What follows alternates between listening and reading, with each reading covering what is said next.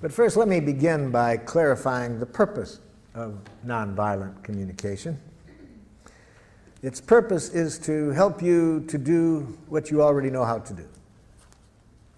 Now, why do we need to learn something today that you already know how to do? Because sometimes we forget to do this. We forget because we've been educated to forget. Now, what is it that I'm talking about that we already know how to do? The purpose of this process is to help us to connect in a way that makes natural giving possible. Natural giving possible. What do I mean by natural giving? Uh, let me do you a song to make it clear uh, what I mean by natural giving.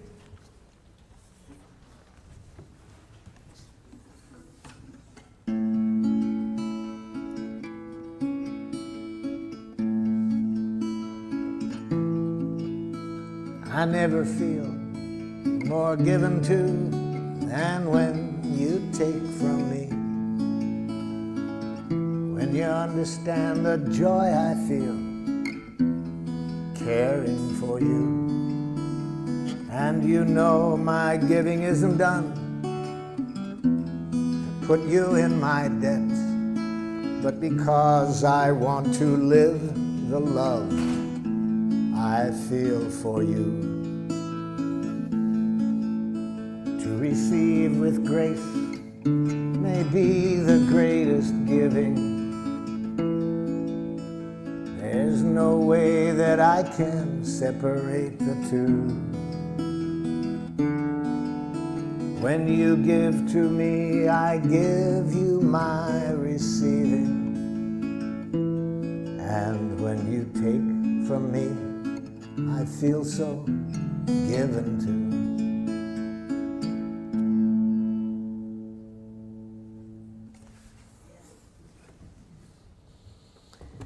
You all know that giving. You know how to do it. And that's what I'm interested in. Uh, remembering to stay with that quality of giving, moment by moment in any connection. But we also all know that it's easy to lose it. It's easy to lose that connection. So that instead of enjoying that quality of giving, which is possible every moment in every contact we have, in spite of how precious that is, we forget. And instead of playing the game that that song is about, which I call Making Life Wonderful, it's, it's the most fun game I've ever heard. Instead, much of the time we play another game called Who's Right? Have you ever played that game?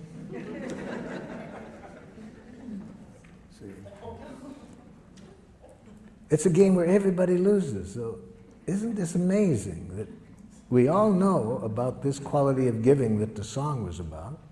It's possible every moment. We, val- we, we find that the richest thing to do. And much of our life, we end up playing who's right. Now, the game of who's right involves two of the most devious things human beings have ever come upon. One, punishment.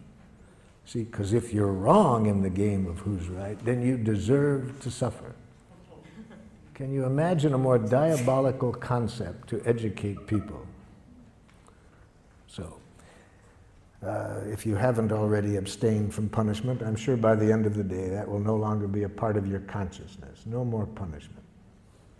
You won't do it in your families. We'll get rid of it with criminals. It just makes things more violent. We'll find other ways to deal with other nations beside punishment. No more punishment. No more reward. It's the same game. It's part of the game of who's right. If you're right, then you get rewarded. If you're wrong, you get punished. No more. No more. It's created enough violence on the planet. No more guilt induction. No more shame. No more concepts of duty and obligation. Just what the song is about natural giving. So, how did we get off target? We got off target, according to Walter Wink, a theologian who writes in his book, The Powers That Be. We got off target about 5,000 years ago. We, we lost, we got off target because we started to get some wild thinking. Wild thinking that human beings are innately evil. And when you believe that, that human beings are innately evil, then if things aren't going as we would like, what's the corrective process? The corrective process is penitence, people are evil, you think that the way to bring about change when people are behaving in a way you don't like is to make people hate themselves for what they're doing. So, for these political reasons and theological uh, reasons, we started to develop a language that I call jackal language. It's a language that cuts us off from life and uh, makes it very easy to, do, to be violent. Very easy to be violent. In fact, in that book I mentioned, Wink says that domination cultures, one of the things you have to educate people is to make violence enjoyable. And we've done a good job of that. We make violence enjoyable in our culture. The two hours a night from 7 to 9 when children are watching television the most, in 75% of the programs they watch, the hero either kills somebody or beats them up. You see, so we, and when does this happen? At the climax of the program. We, we've been educated for quite a while to make violence enjoyable. So even though I think what that song was about is what is really closer to our nature, this natural giving, we've been educated to make violence enjoyable and educated in a way we can even be violent to our children. So, what is jackal language like? See, jackal language, as I've mentioned, is a language of moralistic judgments. You think in terms of who's right, who's wrong, who's good, who's bad. And when you mention change, yes, uh, we want change at times. So, how do you get change in the jackal system? Watch a parent try to bring about change in the child. This is a parent teaching a young child say one of the most important words in jackal. Say you're sorry. I'm sorry. You're not really sorry. I can see it. You're not really sorry. I'm sorry. Okay, I forgive you. Can you imagine a game like that? Can you imagine a parent responding to a child that way? And if a parent is going to do that to a child in their own family, what are they going to do to people from other cultures who behave in a way they don't appreciate? So, of course, you're going to have violence wherever you have this kind of thinking in cultures that do not have this thinking, you don't see violence, you see. So that's how we got off target. Even though we could be playing the game, make life wonderful each moment, we have been educated for quite a while to play another game, who's right. So, what are the parts of this game of who's right? I've, I've just mentioned one of them. One part is moralistic judgments, learning how to go up to our head and think basically in terms of right and wrong, good and bad, normal, abnormal. I learned this game very well. I speak several dialects of Jackal. Uh, I grew up speak. I grew up in Detroit. We spoke a rather harsh dialect of Jackal. You might call it Detroit Jackal. For example, uh, if I'm out driving and uh, someone is driving in a way that I don't like. And again, I want to install change, you see. I, I roll down the window. Idiot! now, theoretically, the person is supposed to repent. Uh, I confess I was wrong, sir. Uh, I, will, I will change the error of my ways. It's a great theory. Uh, it didn't work. I've tried it more than once, it doesn't work. So I thought maybe it was that particular dialect of jackal. So I decided to get the more cultured use of jackal. So I went to the university and got a doctor's degree in professional jackal. now, when somebody's driving in a way I don't like, I roll down the window. Psychopath! still doesn't work. you see. There's another part of this language of Jackal. Amtssprache. Amtssprache. That's very important. You see, a language that uh, denies choice, denies responsibility for our actions. I use the word Amtssprache for this part, uh, having read an interview with the Nazi war criminal Adolf Eichmann at his trial for war crimes in Jerusalem. Eichmann was asked, Was it hard to send tens of thousands of people to their death? And Eichmann answered candidly, he said, To tell you the truth, it was easy. Our language made it easy. That interview shocked, that, uh, that answer shocked his interviewer. And his interviewer said, What language? Eichmann said, In fact, my fellow Nazi officers and I, we had our own name for our language. We called it Amtssprache. Amt in German means office, and Sprache, language. I'd call that bureaucratic language. He was asked for some examples. Eichmann said, It's a language in which you deny responsibility for your, your actions. So if somebody asks you why you did it, you say, I had to. Then you don't feel so bad if you have to do it. You see, you're not responsible. But why did you have to, Jack? Superior's orders, company policy. They made me do it. I couldn't do elsewise. Very dangerous language, Amtssprache. Very dangerous. We have giraffe schools. Uh, I use the word giraffe, you see, as a symbol for nonviolence. We'll see today that uh, the language we're going to study is a language of the heart. And so I use giraffe language for that because giraffes have the largest heart of any land animal. So, um, giraffe requires uh, always being conscious of choice, you see. We never do anything that we don't choose to do. But I was uh, teaching giraffe to a group of parents and teachers in one uh, community, and uh, we have giraffe schools throughout uh, the world. We have five in Israel, four in Palestine, uh, some in Serbia, and so forth. And in giraffe schools, of course, we want to make sure that certainly that the teachers and parents never use Amtssprache. One of the most dangerous languages in the world. To teach a child you have to do something. So I was saying this one time in St. Louis, Missouri, to a group of parents and teachers, and uh, a mother got very upset. She said, But there are some things you have to do, whether you like to do it or not. It's our job as parents to teach our children what they have to do. I mean, there's things I do every day that I hate to do, but there just are some things you have to do. Well, I said, Could you give me an example? She said, Well, easy, there's so many. Let me think. Okay, like when I leave here tonight, I have to go home and cook. I hate to cook. I hate it with a passion, but I've done it every day for 20 years, even when I've been sick.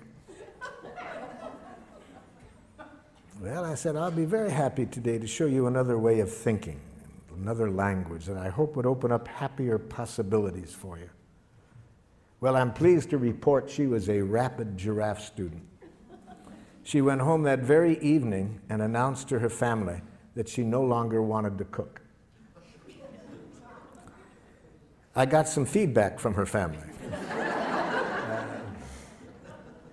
the feedback came two weeks later when I swung through that city again and was doing an evening workshop. And who shows up? Uh, the, her two older sons. She had four sons. They, they came up at the beginning to introduce themselves. And I said, Hey, I'm glad you guys came up here. I've been very curious what's going on in your family. Your, your mother's been calling me regularly, telling me about all the changes she made in her life since the training. And I, he, like, what happened that first night when she came home and announced that she no longer wanted to cook? The oldest son said to me, Marshall, I said to myself, thank God.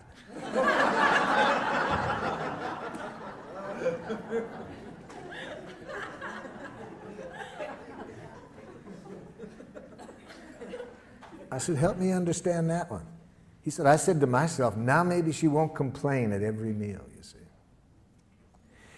You see, natural giving, what I started the day off with that song, anything we do in life that isn't coming out of that energy, we pay for it and everybody else pays for it.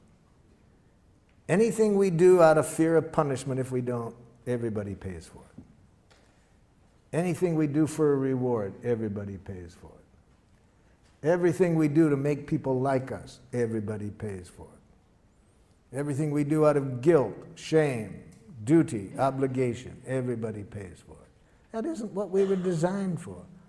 We were designed to enjoy giving, to give from the heart. Um, Marshall, Yes. I'm over here. My son brought me to one of your seminars, and I met you some 10 years ago Yes. in Oakland. Yes. Now I'm trying to bring my son back to come here. And he uh, said last night when I told him I was coming here, he said, Well, why don't you go? I have a couple of appointments. Uh, maybe you could teach me something. So I thought I would come to learn something. Maybe I can teach him. But I'd like to teach him, and I don't know how to do that. Well, I'd like to teach him to at least give me the time of day to communicate with him. He doesn't do that willingly.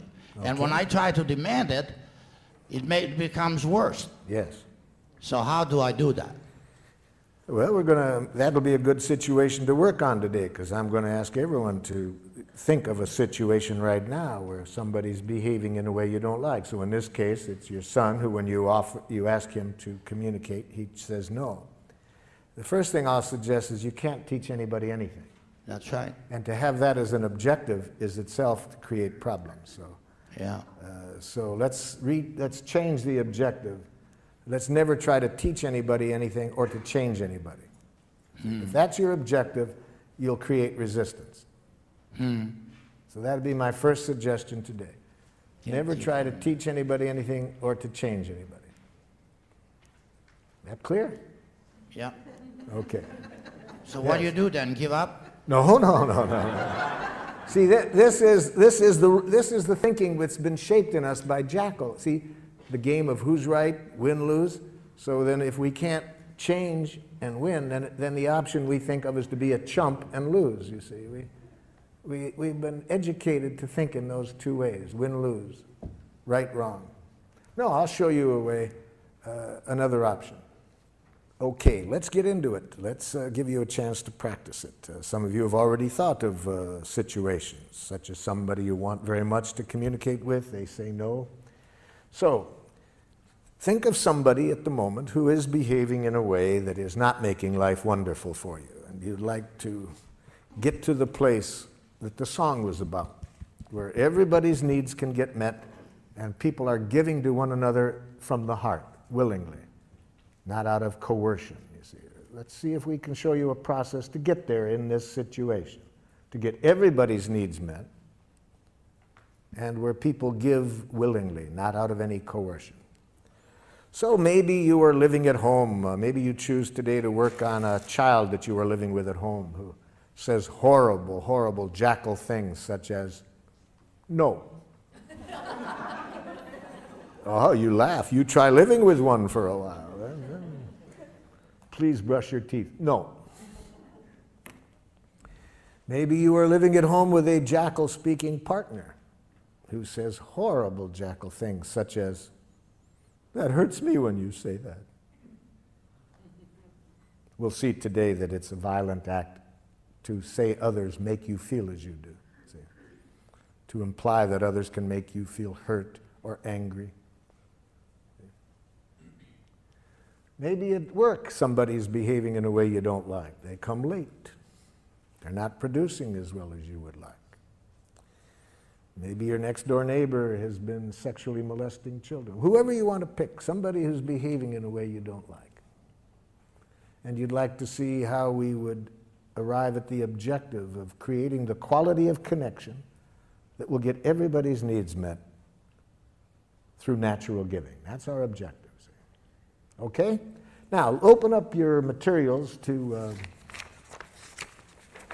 the last page, second to the last page. At the top it says, expressing how we are and what we would like.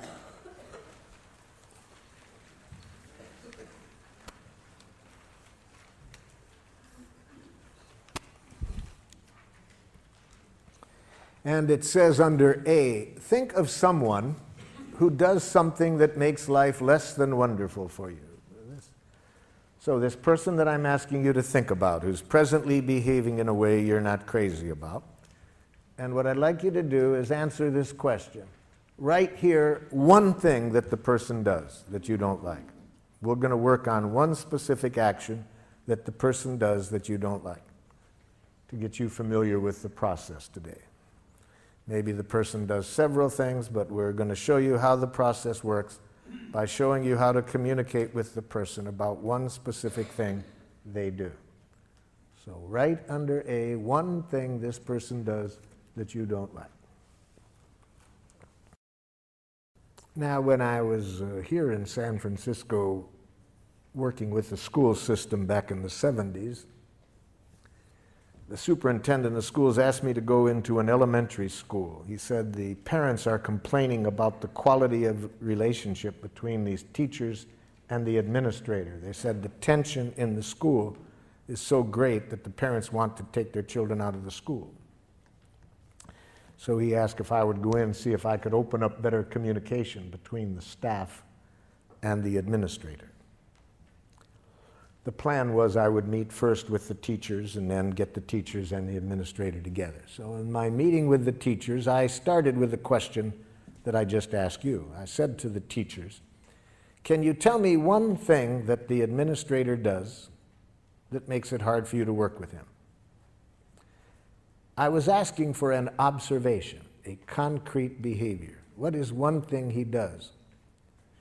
The first teacher to respond said this he has a big mouth. Now, can you see the difference between the question I asked and the answer I got? I did not ask, what size mouth does the principal have? so, this teacher was giving me an evaluation, an analysis that implies wrongness. You see, we've been so trained to think that way that sometimes we can't separate fact and opinion. We, all we see is our enemy image. See, whether it's an individual or a nation, we have been trained to think in enemy images wrongness. And it, it obscures reality. We, we don't see the behavior, we just see our enemy image. In his book, Out of Weakness, Andrew Schmookler says that when cultures are taught to think this way, not to just see the person, but an image, a judgment they've made, bombs are never far away. You see. So I pointed this out to the gentleman that this was not an answer to my question. I wanted to know one thing the principal did. This man was stuck. He, he, he just couldn't get it. The woman sitting next to him tried to help. She says, Well, I know what he's referring to. I said, Okay, help him out. What, what's one thing that the principal does? He talks too much. No, too much is a judgment. I ask for an observation, not a judgment. See, this, this is how jackal speaking people think. They really have been brought up to think there is such a thing as a just right amount of everything. and too much and too little and that they know what it is. See? So they think that way. It doesn't make resolving conflicts too easy with them when people have an idea that there's a right and a too much and a too little and they know what it is. And especially when they mix it up with an observation. I was just asking, what does the person do? And again, for the second time, this person couldn't see the behavior separate from the judgment. A third person tried to help. Well, I know what they're talking about. Okay, what? He thinks he's the only one that has anything worth saying. No, telling me what you think he thinks is an uh, evaluation you're making of what you think is going on in his head. I was asking for what does he do? A fourth woman said, he wants to be the center of attention all the time. I said, now you're giving me a judgment or a diagnosis of his motives. Even if it's accurate, it's a diagnosis of his motives. It's not an observable behavior. My question was, what does he do? Now the entire faculty sits there quiet. Nobody can answer the question. And one of the women said to me, Boy, Marshall, that's hard to do. Yes. In fact, the philosopher Krishnamurti says that to observe without evaluating is the highest form of human intelligence. You see. So, those of us who have been taught to think in these enemy images, immediately to think right, wrong, good, bad, normal, abnormal, appropriate, inappropriate, to this, to that, we can't see reality. All we see is our enemy images. Well, with great help, with, with great effort on my part, I finally got them to get rid of the images and answer this simple question What does he do? It was several things, but the one that they wanted particularly to start working with him on was this that during their once a week faculty meetings, regardless of what was on the agenda, he would relate it to a war experience or a childhood experience. And the average meeting lasted 20 minutes longer than it was scheduled. Okay, that answered my question of what he did.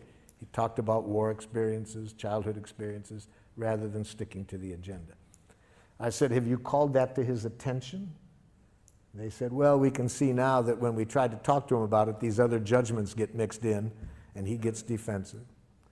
So they thought it would be a good idea to talk to him about it, but they asked if I would be at the meeting just in case.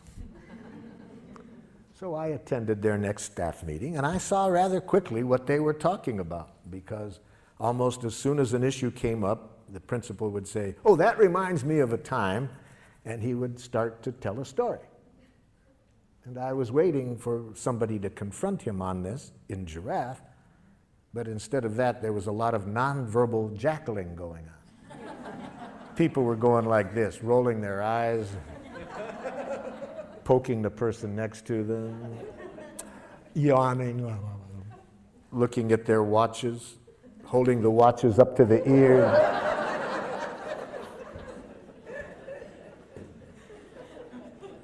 and I watched this scenario going on for a while, and I said, Excuse me, but isn't somebody going to say something?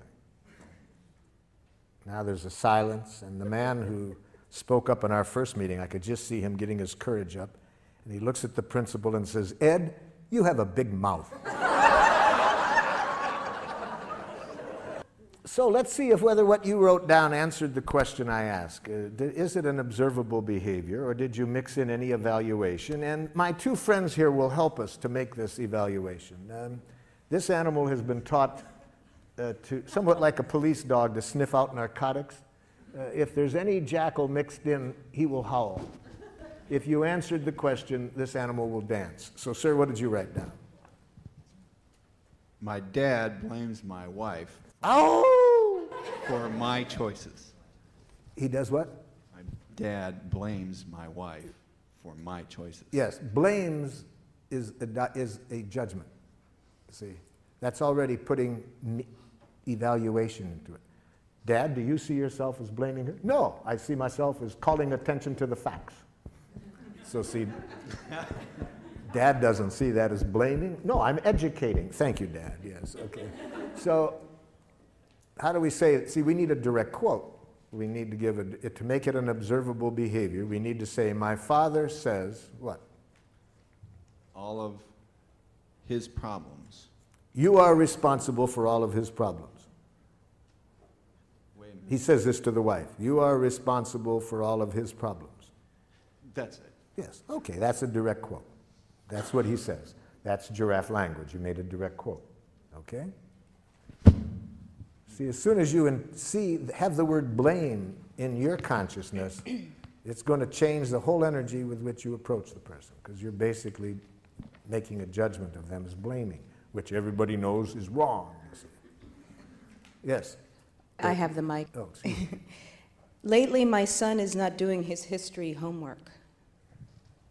Mm-hmm. Okay. My dad makes harsh harsh judgments and insulting remarks. Oh my God, you've killed my poor jackal.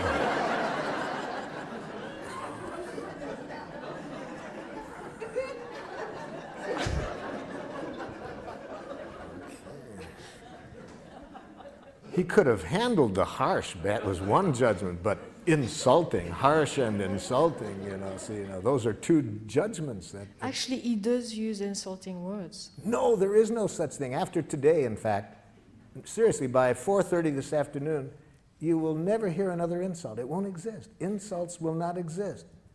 I'm going to show you to use some technology today that takes insults and criticism out of the waves, airwaves. So that no matter what your father says, you can never hear another harsh statement or another insult, because we're going to show you today how to use this technology.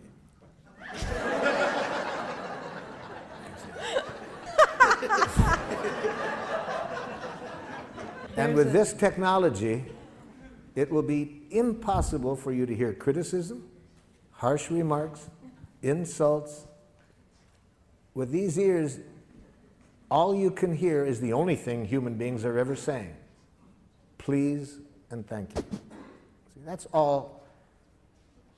We're going to show you today that all what used to sound like criticism, judgments, blame are simply tragic, suicidal expressions of please. My brother Yes. yells at me to get in the car to go to school, and then he makes me late to school. Who yells? see, but you see, yells yells is a uh, kind of a little bit of an evaluation. He he speaks in a tone of voice. Yeah. See. Okay, it's a tone of voice. I was asked at Lincoln High School. Is, is there Lincoln High School in San Francisco? Many years ago, I was asked to work with the faculty there. They were having a lot of tension amongst the faculty, uh, racially, ethnically. There was a lot of tensions, and the superintendent asked me to work there. And I started the day asking, "Tell me something that somebody else on the faculty does that you don't like." Man turns to the woman next to him and says, "I don't like it when you yell in our faculty meetings." She says, "Who yells?"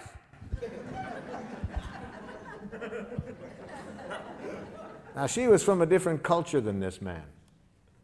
See, what was yelling in her culture was quite different. And about 10 minutes later, when she started to yell at him by her own definition, I saw a difference, you know. so raises the voice when he's asking you to get ready for school. Yes. yeah. Or just kind of gets angry at me to get in the gets angry, uh, that's maybe accurate, but it's a diagnosis. We don't know whether he's angry. He might be scared that, you know, you're going to miss school. It might sound to you like angry. Maybe it is, maybe it isn't, but raises the voice, has smoke coming out of his ears. that, that you can see, you see. That's observable. Yes. Fifth grader uh, Jesse refuses to do his seat work. Oh! Refuses is a diagnosis. Maybe an accurate diagnosis, but it doesn't tell me what he does. It, it He just says, No, I don't want to do it. says, no, I don't want to do it. That's the behavior.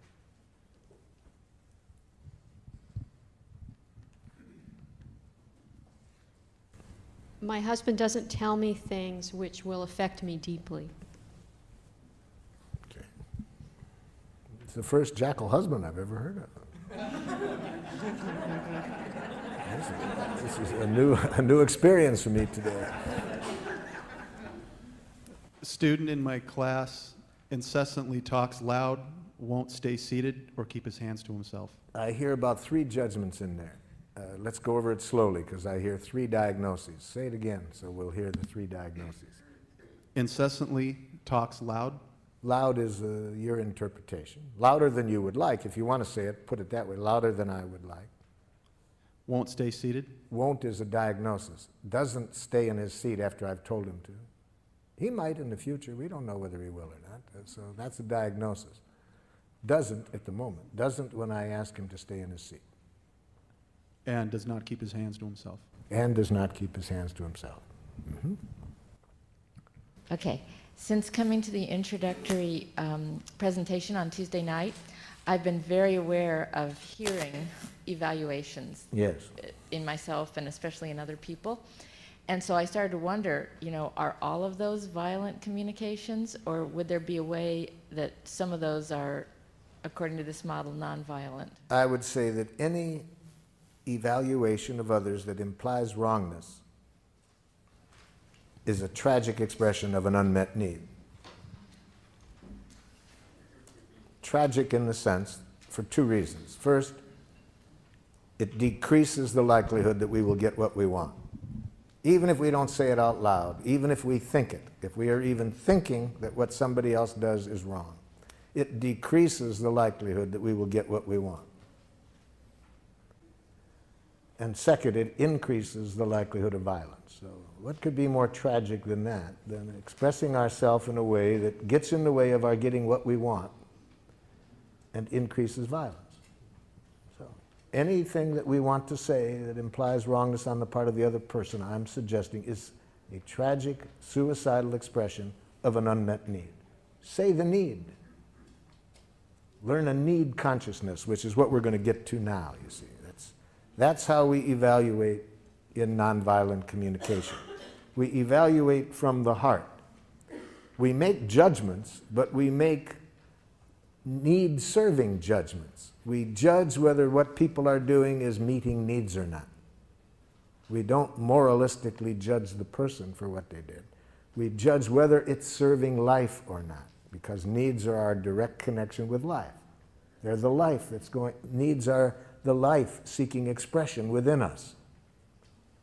So we evaluate with reference to that. And that requires two kinds of literacy feelings and needs. So let's be sure that we are all speaking the same language when I use the term feelings and needs. So under B, it says imagine that you are talking directly to the person and express how you feel when the person acts in the way described above. And use this form.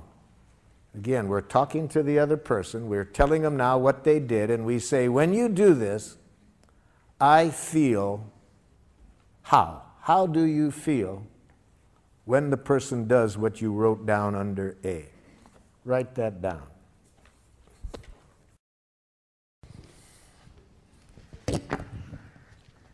When you do this, I feel angry.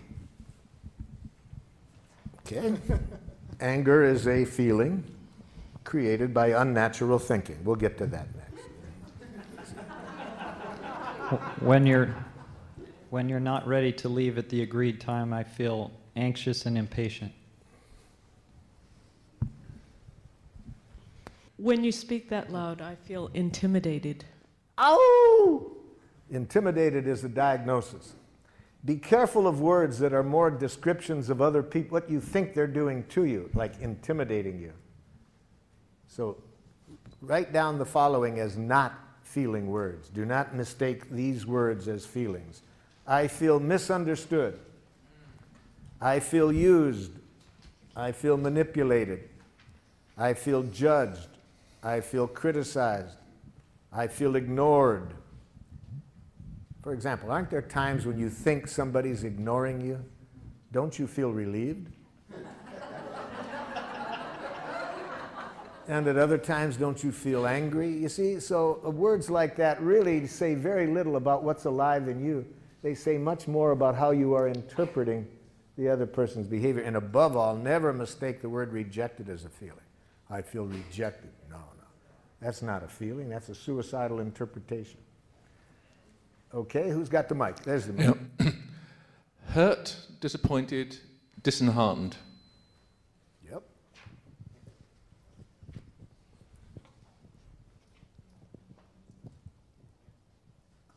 Feel angry and betrayed. Angry, yes. Oh, for betrayed. Betrayed is one of those words like intimidated, ignored, misinterpreted, used, manipulated. It's more a diagnosis of the other person than a feeling. What about what about contracted? Contracted? if you mean tense and like that, uh, okay, if it's that. Um, when you call me up and speaking loudly tell me you are going to cut off funding, I feel angry and scared. Mm-hmm.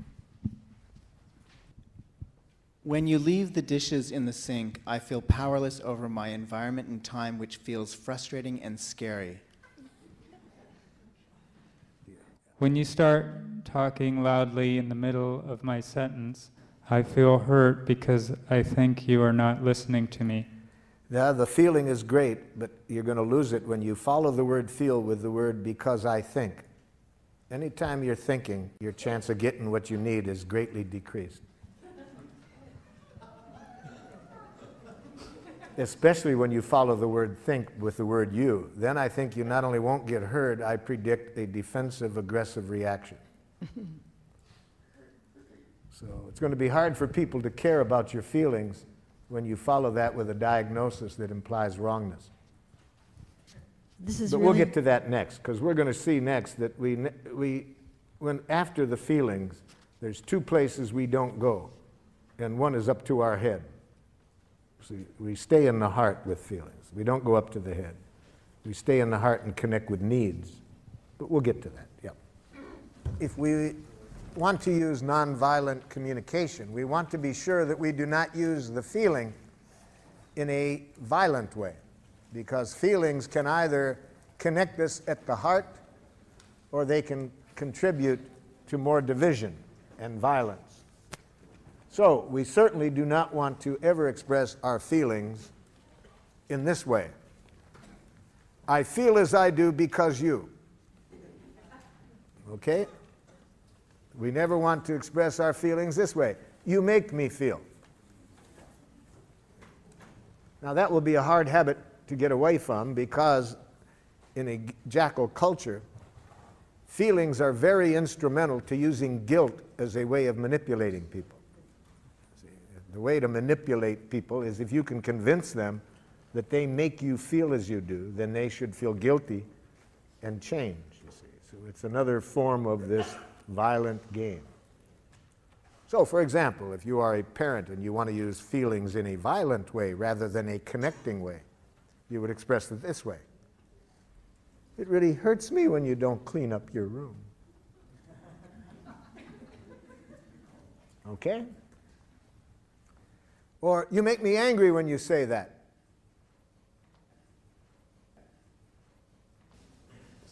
I was talking during the break about one of my happiest days as a parent was when my oldest son went to a jackal school for the first time. Uh, he had gone six years to a giraffe school that I had helped create, and uh, but then he was. I wanted him to learn how to enjoy jackals as well. So, uh, and in giraffe schools, we also want to be aware that the children are not always going to be in this setting. So we want them to learn how to stay with their own values, regardless of which structure they're in. You see. So he comes back the first day from school, and he looked less than happy. And I said, uh, "How was the new school, Rick?" And he said, "It's okay, Dad, but whew, boy, some of those teachers, Dad." I said, "What happened?" He said, Dad, I wasn't even in the front door, really. I was halfway through the front door, and some man teacher comes running over and says, My, my, look at the little girl. Can you guess what the teacher was reacting to? Yeah, my son's hair was down to his shoulders. See, in a jackal school, as we all know, authority knows what's right. See, there's a right way to wear your hair as a boy and a wrong way. A right way to do everything, and who knows? The teacher. And then what do you do if somebody doesn't do it? You use shame, guilt, and so forth. You use the word girl as though it's an insult. Welcome to Jackal Land. So I'm getting burned up, ready to go do a little bat therapy with the teacher. Uh, forgetting all about my uh, teachings. Uh, and I said to my son, How did you handle it? He said, I remember, Dad, that what you said that when you're in that kind of environment, never give them the power to make you submit or rebel. You see, so one of the things we want to teach children very early, no matter what structure you're in, never lose track that you are free to choose what you do. Don't allow institutions to determine what you do. I said, hey man, that you remembered that, that's a big gift. I really love that you could remember that under those conditions. Then what'd you do? I put on my giraffe ears, Dad, tried to hear what he was feeling and needing. I said, You remembered to do that? What did you hear? Pretty obvious, Dad. Looked irritated, wanted me to cut my hair. Hey, wow, man, I'm really glad you could remember that. How did that leave you feeling? I said, Dad, I felt sad for the man. He was bald and seemed to have a problem about hair.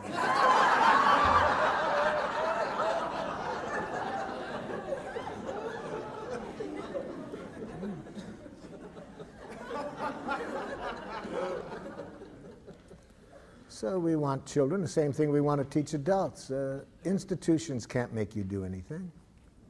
Uh, other people can't make you do anything. No human being has ever done anything they didn't choose to do.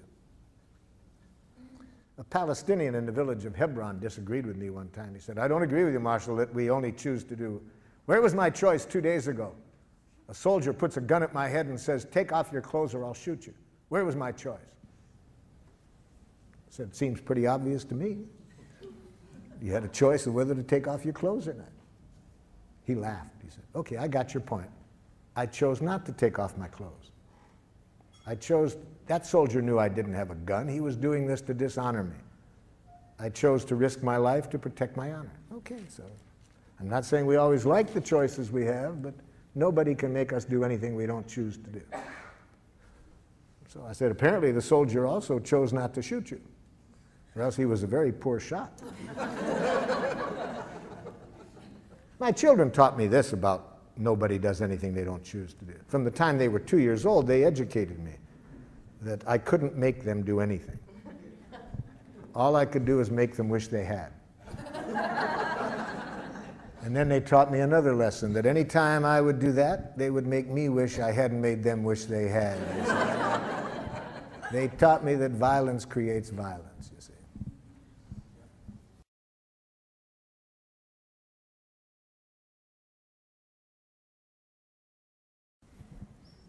Okay, the next step then. We do not attribute responsibility for our feelings to the other person. We never say that you make me feel or I feel because you. Instead, we are conscious that the root of feelings are needs.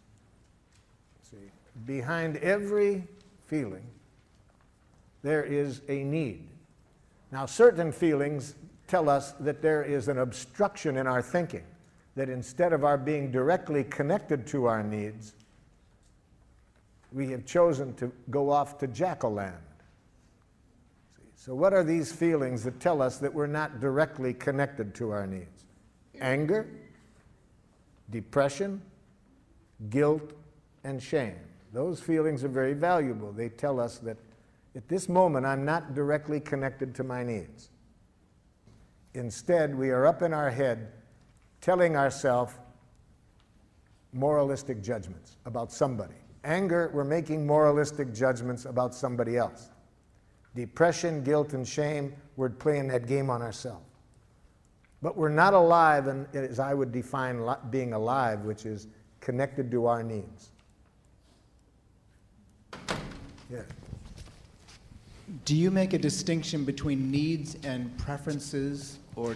Yes, we make a different, a big difference, as we'll see when we get to the next step now, because needs contain no reference to specific ways of getting the needs met. Those are preferences, or strategies, or requests. So we make a big difference between needs and between preferences, requests, strategies.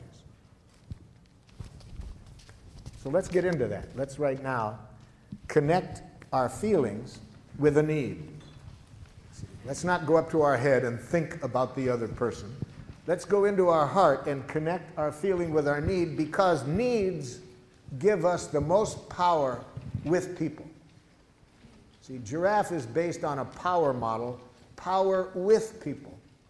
It increases our power with them in the sense that it increases people's willing giving to us to enjoy giving to us. That's power with people. We have been trained in a power over model, the use of punishment and reward. That's power over people. To get them to do things not because it's coming from their heart and they want to contribute to our well being or to life.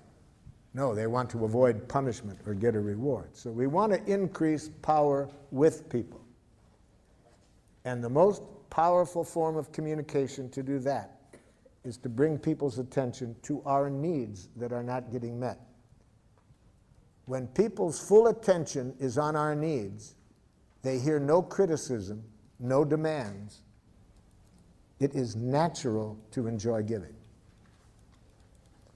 But if we hear any criticism or demand, we lose connection with that natural desire to give, and now we want to defend and attack. So let's learn a, a language of needs. Under C, it says, Imagine again that you are talking to the person and express your reasons for feeling as you do this way. When you do what I described, I feel as I expressed because I am needing or because I need. See? So now see if you can identify what need of yours is not getting met. Leave the word you out of here because that will mix up need and preference. Leave the other person out of here. Just express the need without reference to the other person.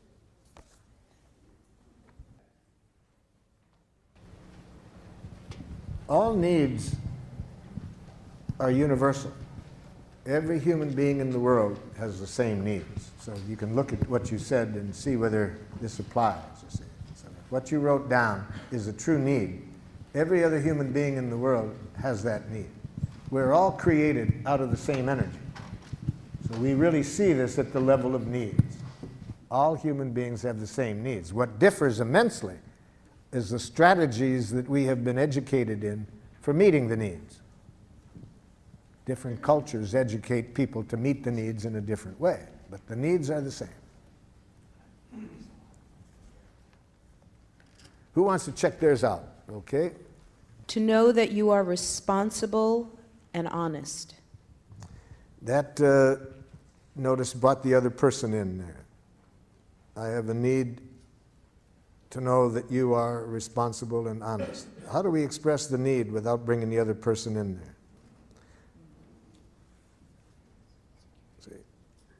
Now, we can bring it in one way. I have a need for your happiness, for your protection. We can say that. See, but not uh, the way you're saying it. Yes? I need to be seen and heard as who I truly am. I have a need to be seen and heard as who I truly am. Okay? Now I'm, I have a impulse to qualify that and say free. To be free. I have a need to be. The, the last word in that sentence is who I truly am, free. I have a need, who I truly am, to be free. Yes, that, that's a need we all have. The important thing will come out when we get to a request, because that's a request that only you can meet. Other people can't do that. They can't meet that need. So if you don't know how to meet it for yourself, for freedom, you won't have that need met. Um, I'm feeling a bit frustrated because I'm noticing that everything is a strategy. In other words, mine is a need for an aesthetic environment. But underneath that, there is a need for serenity. And my serenity doesn't come from the environment. So this entire request, starting at A, is a strategy to get something called serenity. Okay, that's a need then. I have a need for certain peace, uh, but isn't there a need in there for certain aesthetics that will. Right, but it, it, it crumbles the house of cards for me of wanting the sink not filled with dirty dishes. Help me understand that. Why wouldn't the, uh, if you have a need for serenity? But serenity doesn't come from a clean sink. Okay, then we haven't got the, the right need then. Or the right, then it's not that you want the, strat, the, the sink cleaned out. But I'm projecting that need onto the sink, thus onto a behavior of someone else. Well, if the other person's behavior can be getting in the way of our need getting met. If the, the dishes aren't done, and it could be some needs of yours are not being met by that. Then you have to identify what the needs are that are not getting met. I'm not sure. I, I'm, I'm, I'm really not sure that I'm not basing my, an assumption that by having that sink clean that I'm going to have serenity, and I think it's a false distinction. Well, the nice thing about being clear about our request is we can test it out. If I say, I, for my need for serenity, I'd really be grateful if you would uh, clean up the sink. The person does it, and I'm still not serene. Okay, that helps. I know that doesn't work. See, we never really know what we want until after we get it. If after we get it, it makes life more miserable, then we know that isn't what we wanted. If it makes life more wonderful, then we know that is what, you know, a strategy that will meet our need. That's what makes life fun. We never know what we want until after we get it. That's why Paul Tillich, the theologian, says that Christianity requires the willingness to sin courageously. You, you, ask for what you want, hoping to meet your needs. Uh, you get it, it makes life worse. Okay, now I've learned that isn't what I want. Wouldn't it be boring to know what is wrong? Yes. When, okay, when you do what I described, I feel as I expressed because I need respect and acknowledgement, and I need to be able to feel safe in my job environment. I hear needs in there. Yes.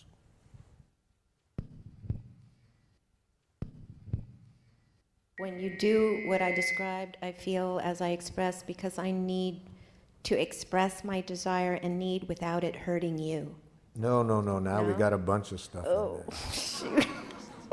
If you want to avoid hurting other people, the only way I can offer you to do that is to become a nice dead person. Yeah. Because if other people have jackal ears, they can get hurt if you have heartburn. So would I just cut off that second half? Just, I need to express my desire and need? Yes, and then I and then what you want to say to yourself, and I want to learn to enjoy your pain, Ooh. which Whoa, is we're going to show you after lunch how to enjoy the other person's pain. Ooh, that sounds.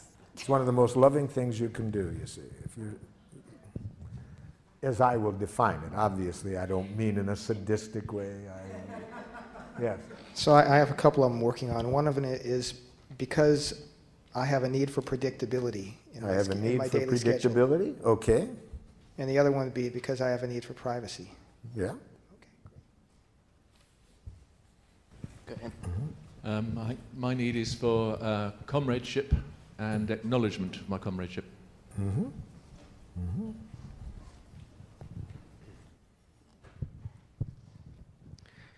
I have a need to memorialize the life of your father, and in doing so, honor the life of your entire family.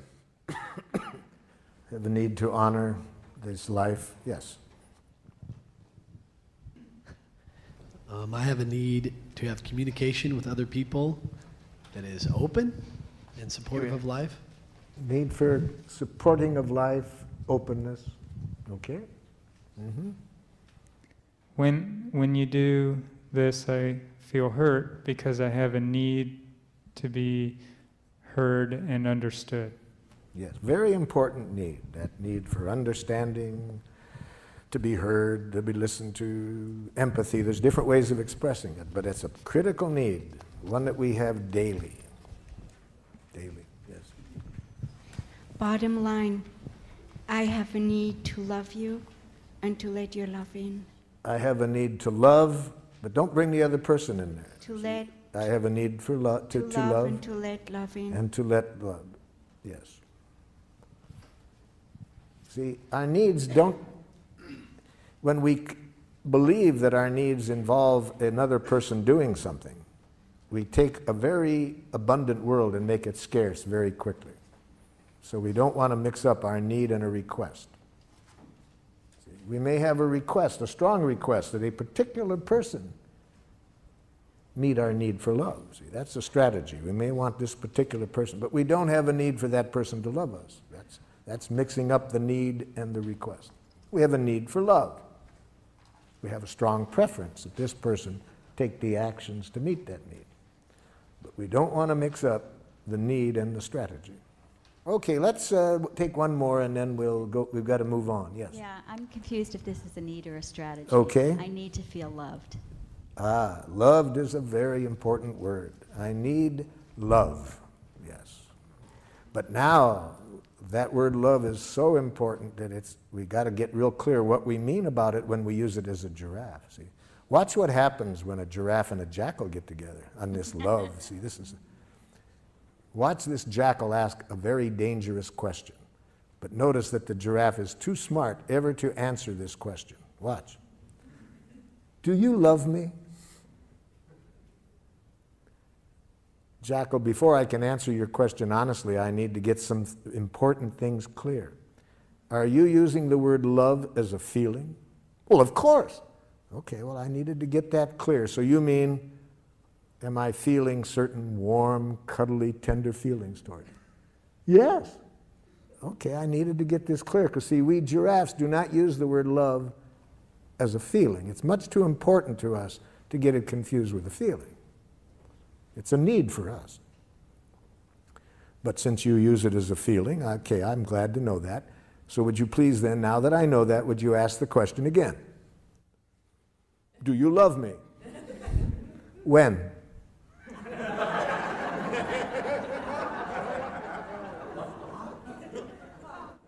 When? Well, I want to be honest. I can see how important this is to you, but how can I be honest with you about what I feel toward you without reference to a specific moment? Feelings change every few seconds. Life is changing. Feelings are part of life. So I'd have to know a specific time and place to ever answer your question of how I feel. What about right now? No.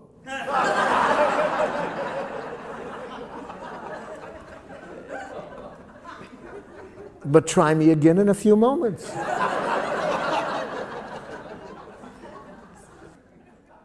so you see, to a giraffe, love is a need, and it's a need for which we must be very clear about what requests do we have of other people to meet that need. Now, watch what again what happens with reference to that if we're if we're in a love relationship with a jackal. I want you to love me. Oh, so you have a need for love, Jacqueline. You're giving me the honor of wanting me to meet that need. Yes. I really see how important the need of love is, so I want to be clear what you would like from me to meet your need. Could you tell me what you are requesting of me to meet your need? Now, the poor jackals, they don't live in the moment, you see. And, and to make a clear request, you have to live now. You have to be clear what you want. So, watch how the jackal handles this. So, could you tell me what you want me to do to meet your need for love? Oh, you know. no, I'm not sure I do. I really see how important this need is for you, so can you tell me specifically what you would like me to do to meet your need for love? Well, it, it, it, it's hard to say in so many words. If it's hard for you to say, Jackal, can you see how hard it will be for me to do? Never thought of that. Hmm? So, what would you like me to do to meet your need for love?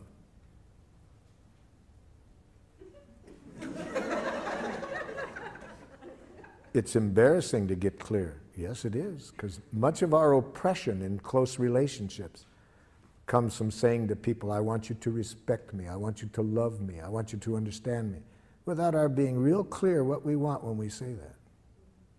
So, what are you wanting, Jackal, when you say you want me to love you? I want you to guess what I want before I even know what it is. and I want you always to be willing to do it. Thank you for defining it that way, Jackal. Uh, would you please find someone else to meet your need for love?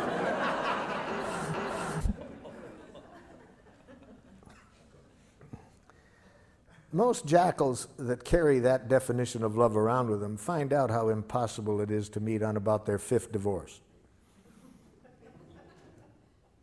You see, they keep thinking that they're going to find the right person to love them, not realizing the problem is how they're defining love and what they want from other people to meet the need for love, to see that it's impossible to meet that need.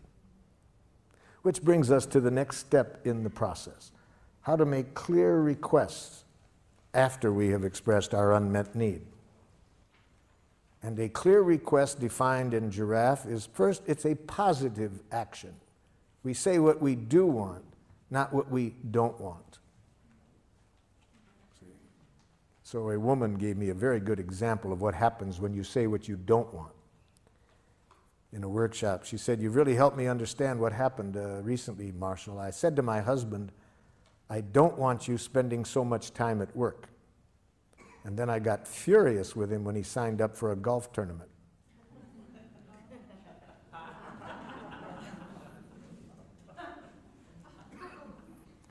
A teacher gave me a similar example. She said, uh, Just yesterday, Marshall, I said to this young boy, Please, I don't want you tapping on your book while I'm talking. So he started to tap on his desk. Saying what we don't want doesn't make clear what we do want. But worse than that, if we frame our objectives in getting rid of something, it leads to violence very often. It makes violence seem attractive when we try to get rid of something. For example, I was working with some teachers in a school in Rockford, Illinois. Their observable behavior they wanted to work on is on the average, every three months, 38 break, broken windows in the school. So we got down to the request. I said, What do you want different from the students? It's obvious we don't want them breaking windows. So you're saying you don't want the children breaking windows? Yes. What should we do? Kill them.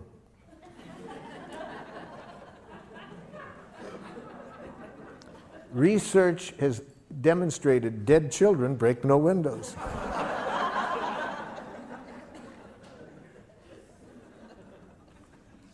Almost any time we think of what we want to get rid of, it makes violence look attractive. And as stupid as that example was I just gave you, look in the newspaper on any given day and see how many world leaders are saying we're going to teach them not to, we're going to get them to stop.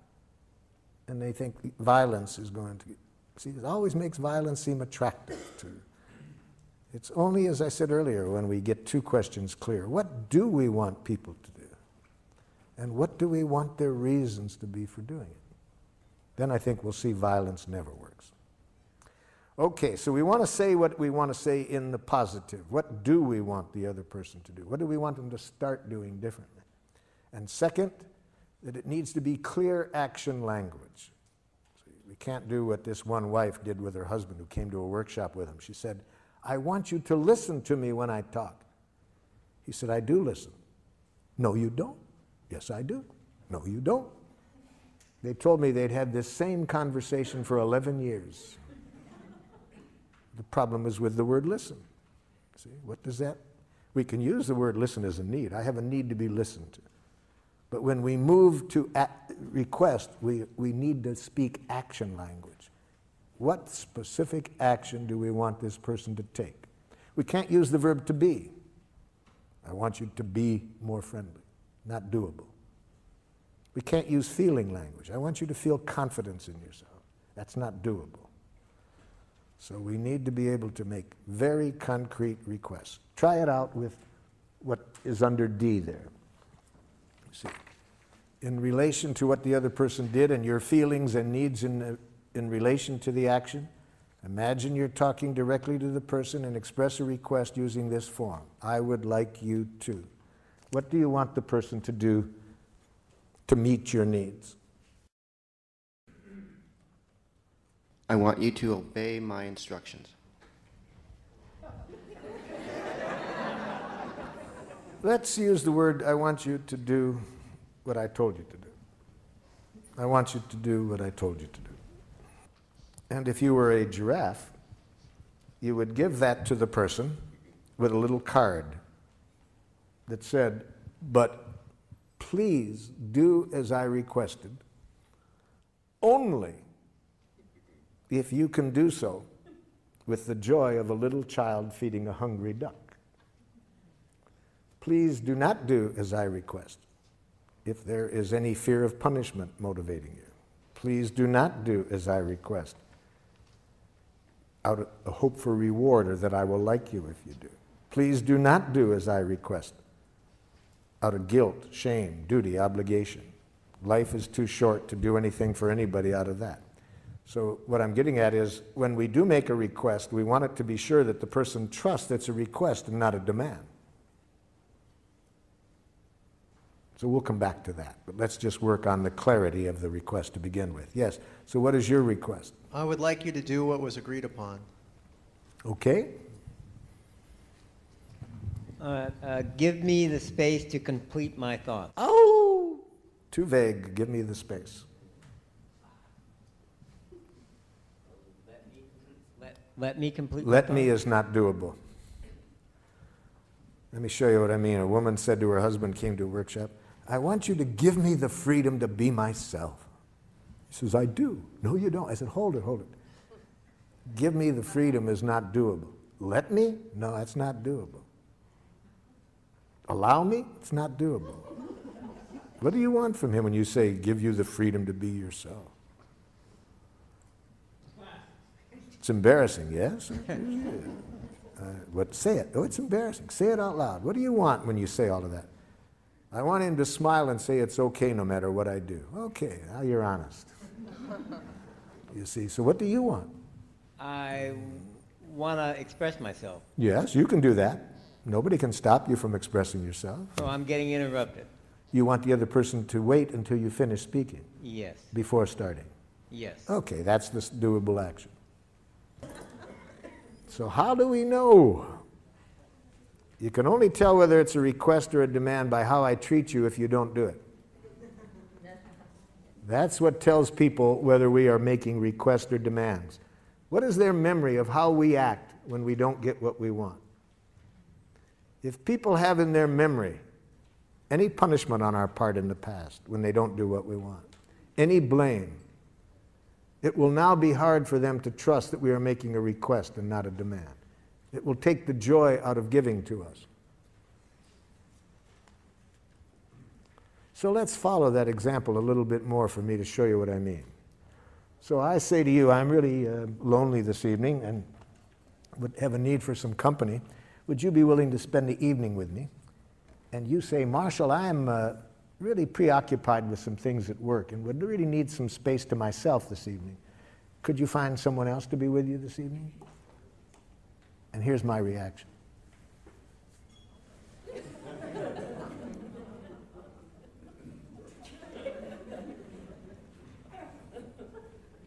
Two days later,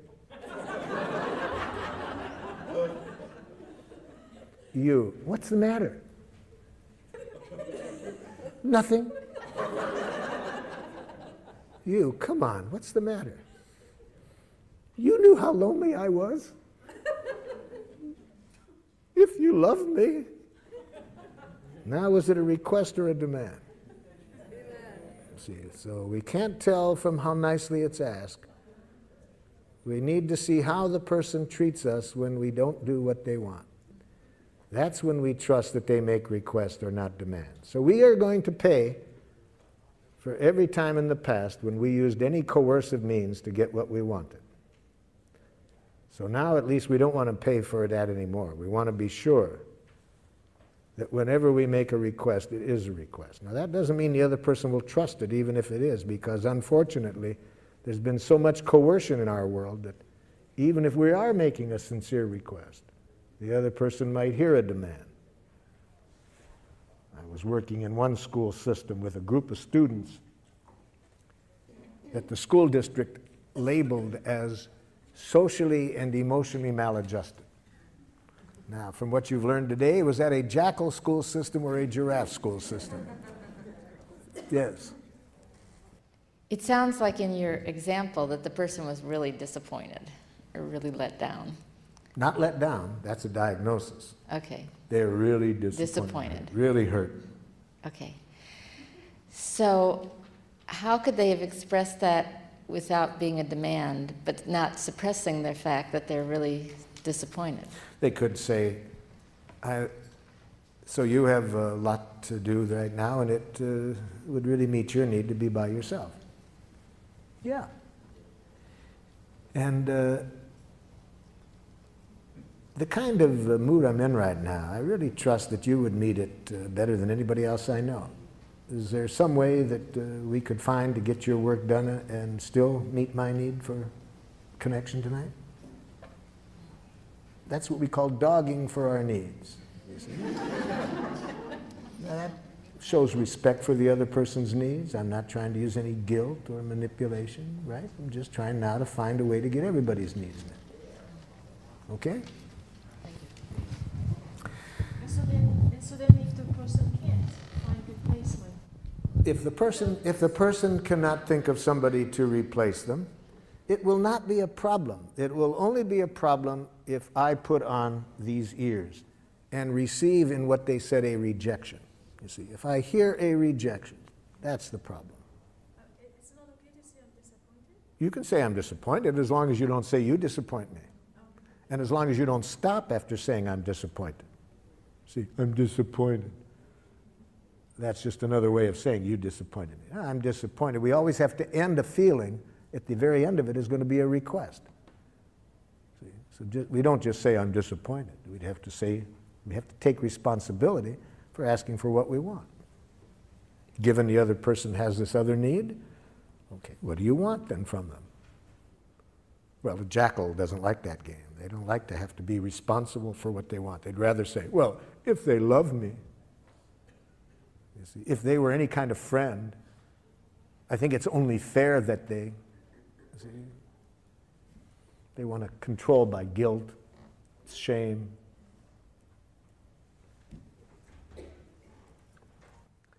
So the school district asked me to work with these students that were labeled socially and emotionally maladjusted. Poor school system doesn't realize that labels lead to self-fulfilling prophecies. When you label people that way, they're going to behave that way. Come on, be honest. If you are labeled socially and emotionally maladjusted, you're one of those students, doesn't that give you permission to have fun in school? Labels lead to self fulfilling prophecy. So I knew it was going to be a rough day just by that label. So when I walk into the classroom, it already starts. Half of the students are hanging out the window, screaming obscenities at their friends in a courtyard down below. So I made a request. Excuse me, I would like you all to come on over and sit down, please. I'd like to tell you who I am, what I'd like to do today. Half the students come over. I wasn't sure the other half had even heard me, so I repeated it. Would you all please come over? Now, everybody comes over with the exception of two young men.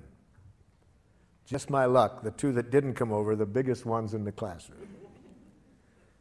And again, I wasn't too sure they'd heard me, and I was praying it might just be a problem with acoustics, so I said, uh, Would one of you two gentlemen tell me, please, what you heard me say? Yeah, you said we had to come over and sit down. You see the problem? I make a request. He hears a demand. So I said, Sir, I have learned to always use sir with people who have biceps like he did, especially with the tattoo on top of the bicep.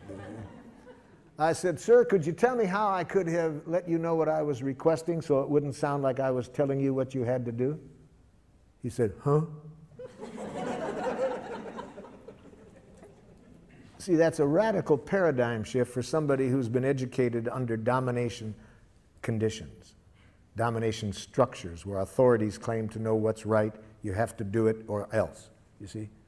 So it's a radical paradigm shift in giraffe schools where people don't make demands. They just make requests. So I realize this is not going to be easy with this gentleman.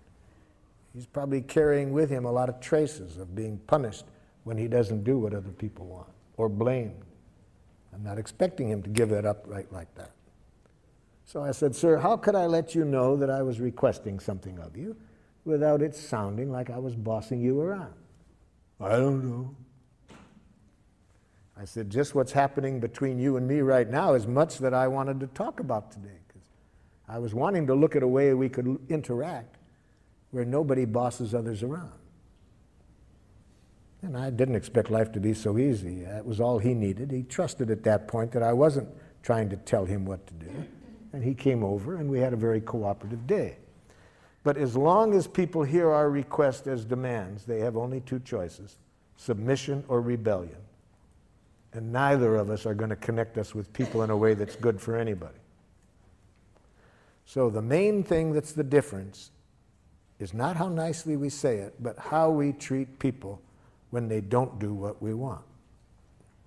Now, let's hear a few of these so we can see what kind of reactions you might get back. If you openly express your heart, you try to your best not to criticize, not to demand, what do you get back?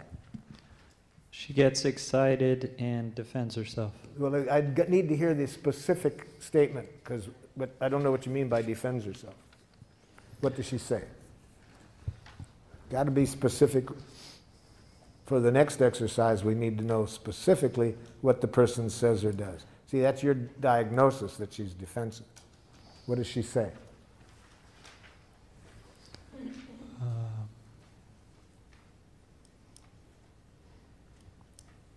Sometimes things happen and I, I'm not ready to leave when we agreed. Well, sometimes things happen and I'm not ready to leave when I agree. Okay, that's what the person says. I can't do that because I have a hard time connecting with people as partners. I can't do that because I have a hard time connecting to people as partners. This is their response back? Yes, What what did the person respond back? Um, he says, Nothing I do is ever good enough. Nothing I do is ever good enough. Okay, here. I Mhm. guess I should go through the whole thing. Uh, She says she doesn't like the way I wash dishes or make the bed. Yes, I feel angry and resentful. yes. I feel, as I expressed, because I need to be accepted for my willingness and ability to do a job the way I do it. Yes. Uh, I would like you to acknowledge my work positively. Even if I don't feel like it? How do you want me to, how would you like me to respond positively when uh, an idiot could do a better job making a bed than you do? Okay, that's the, that's the last thing. She would say that she can't because I never do it the way it should be done. Yeah, so the problem there is with the present request. What do you want from this person? I think what you want is this.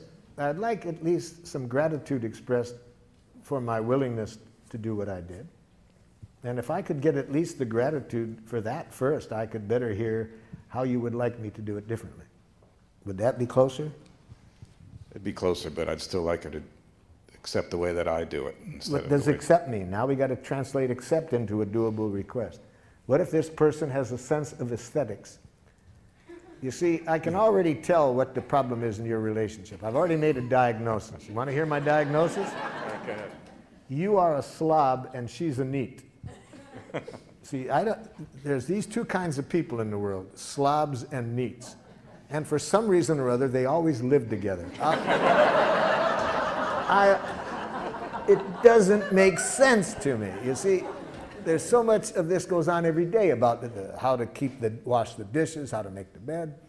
Now, I'll give away which one I am. I once made, I once cleaned the house immaculately. And my partner came home and said, I thought you were going to clean. true, true story, true story. So you know what I am, right? Uh, I wrote her a song that night that goes, If you wonder about the cause of my domestic distress, it's that my partner is antiseptic and I'm a total mess. Last night at 2 a.m., I had to go to the head. In the time it took me, she made the bed.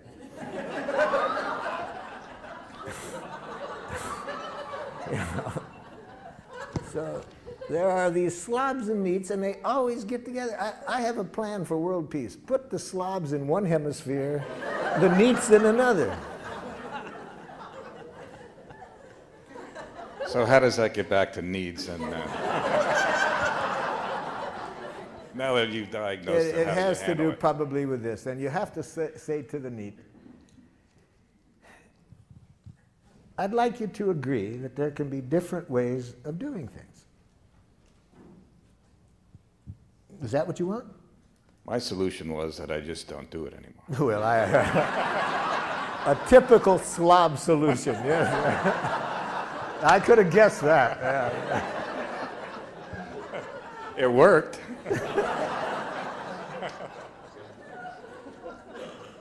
I would really like some acknowledgement. First, I'd like some expression of gratitude for what I did. I'm not saying you have to like it, but at least I'd like to hear some gratitude, if it's sincere, that at least that I was trying. Second, I'd like you to agree that there can be different ways of defining what is an adequate way to make a bed. Then, if after you agree to that, if you could say, what your preference would be without using words that imply that it's right, your way. That would be a lot easier. Something like that.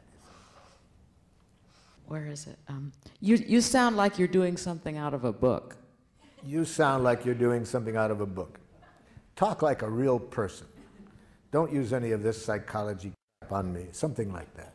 Yes, yes, yes. Especially they're going to say that when you're a baby giraffe, you know, because you're trying a new way and it's going to take a while and it's going to go slowly. And when I was first learning this, I was having a conflict with my oldest son and I was sounding like it was coming out of a book. I was having to stop and think everything I said.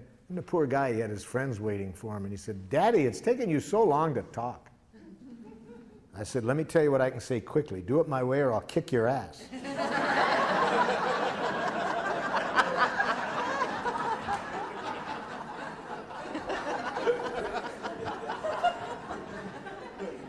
he said, Take your time, Daddy. Those who know me in my old jackal days are very patient with my sounding like I'm coming out of a book or. Yes. There's no value in changing who I am. I'm satisfied the way it is. Yes. There's no value in changing who I am. I'm satisfied the way I am. That we can already tell then this person heard a demand, you see. They're hearing a demand as though you're saying they're not okay the way they are. And that would be how I would bet a person would respond if they hear a demand. Different ways that people respond when they hear a demand. My preference is for how my youngest son once responded when he heard a demand. I said, Would you please hang up your coat? He said, Who was your slave before I was born? I see.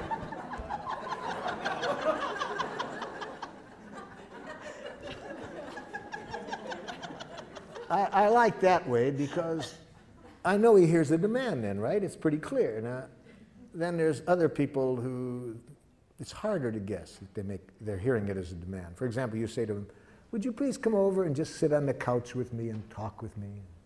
The person goes like this. okay. Now, if you're smart, you'll say, Oh no, stay away. they're hearing a demand, you see, but they're giving in.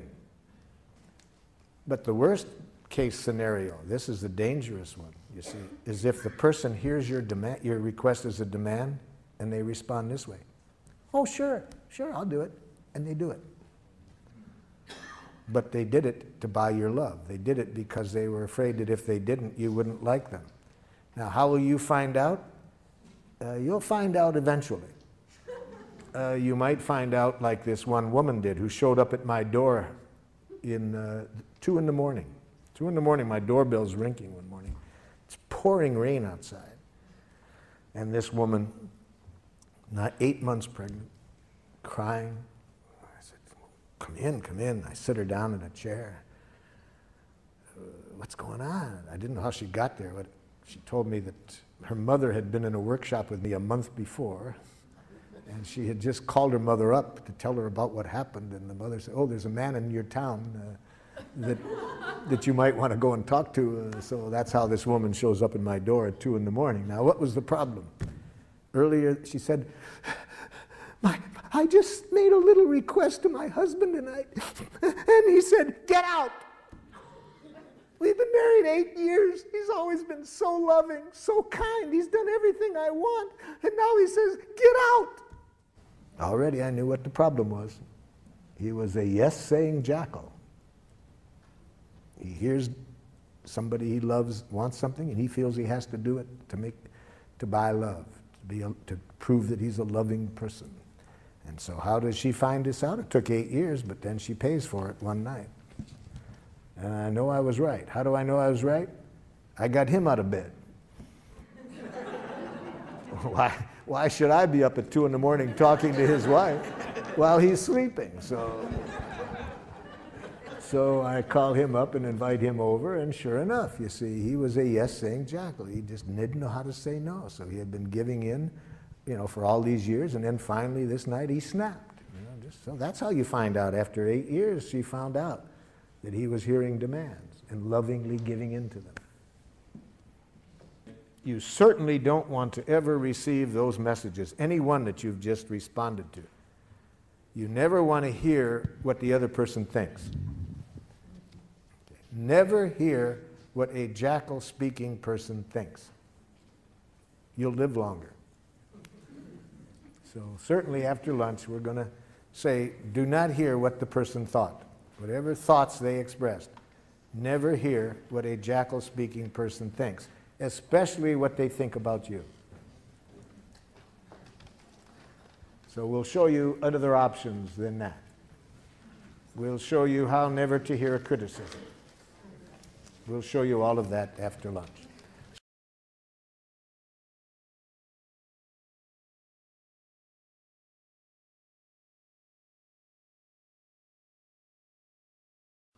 See, there's only two things that human beings are ever saying please and thank you. See, that's all human beings are ever saying. The only thing is, jackal speaking people have learned to say please in a suicidal way. Think about that for a moment. What else is, are human beings ever saying except please? Uh, you're behaving in a way that isn't meeting my needs, or my needs are not getting met by something else. Would you please do this to meet my needs? That's, we need to know how to say that well to survive in the world. When our needs are not getting met, we need to know how to say please in a way that makes it enjoyable for people to give it to us. All right, this morning we learned how to do that. Just learn how to say what you are feeling and needing and make a clear request. Make sure that no words come out of your mouth that imply wrongness on the part of other people. Do everything you can to promote in people the trust that when you make a request, it is a request and not a demand. And that increases the likelihood that people will enjoy giving to you. So we, we studied that this morning. Now, the other half of the process is how to receive from other people what's alive in them and what they are needing to make life wonderful, and how to receive that without hearing any criticism or demand, just to hear what's alive in them. And we need to learn how to do this even when these other people are saying please in this strange way that we've been educated to say please. You know, you were all speaking perfect giraffe for about a year. See, so what I'm teaching you now is really not a second language, it's really your first language. I'm bringing you back to life, to, to nature, to your first language. So now the other half. How do we respond to a jackal's please? When a jackal is expressing the please this way. The problem with you is, is that you are too, see, that's please. That person's in pain. That person has a need that isn't getting met. And isn't it sad that they only know that way to ask for it? Isn't that tragic for this person? To be saying please in a way that almost guarantees you're not going to get what you want. Or if you do, it's going to be motivated by fear, guilt, or shame, and you're going to pay for it. How sad to be educated that way. And now, of course, it would be even sadder if when the person says please that way, you don't hear the please, you hear a criticism. And that's when we have war. Somebody in pain does their best to express it. Person on the other end hears a criticism. So let me tell you what the person that you were working on this morning, all of the messages that I heard you relate, that what you predict they might say back, here is what I heard the person saying. I heard the person you're speaking with saying this back to you I'm in pain. I have a need that isn't getting met. Okay? That's what the person was saying in the message that you wrote down. I'm in pain because a need of mine isn't getting met. Now, hear that. Put on giraffe ears and say this back to the person. Are you feeling? And guess what that person is feeling when they say what they did because you are needing. and guess what their need is. So I'm asking you to go back to the message that you predicted you might get back. I'm wanting you to imagine the person actually says this to you. And now, if you have giraffe ears on, here will be your reaction. Are you feeling? Guess they're feeling. Because you are needing, guess their need. With giraffe ears, all you can hear are feelings and needs. You can hear no criticism.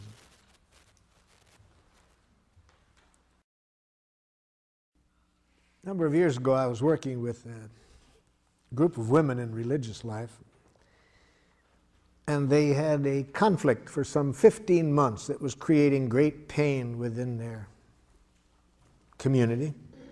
And they asked me to help them resolve this.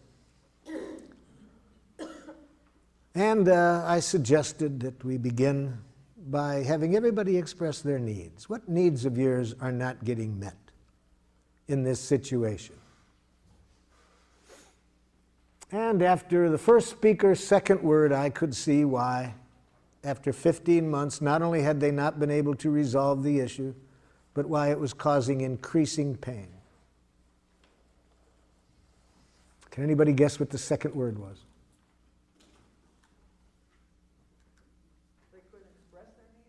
But what was the second word?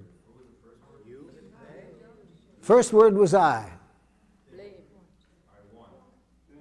I think. Yes. That's as soon as I heard the second word, I could see why it would. Notice my question of them was, What needs of yours are not getting met? And instead of an answer, I got, I think. Immediately I knew trouble. And here's what the rest of the message said I think that if we are to be in religious life, we must take our commitment seriously and dress as though in dress in an appropriate way. See, I asked for a need. That's what I got back. And then another religious sister said, Sister, I agree, but I think. See, 15 months. What was the issue? The issue was whether to wear traditional clothing or not. You see, this was the issue.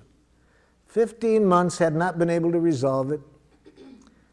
In fact, great pain in that 15 months. The community was divided. But I asked, What are you needing? And I got thoughts. Thoughts. You see. So it took me a while to teach them never to hear the thoughts. Do not hear thoughts. Only use the thoughts as a window. Look through the thoughts to the needs that are behind. Hear the needs behind. It'll be a whole different world. Do, don't hear thoughts. They finally got it. They finally started to look through the words, the thoughts, to what was behind. And then it was amazing how, in a short time, we resolved the conflict.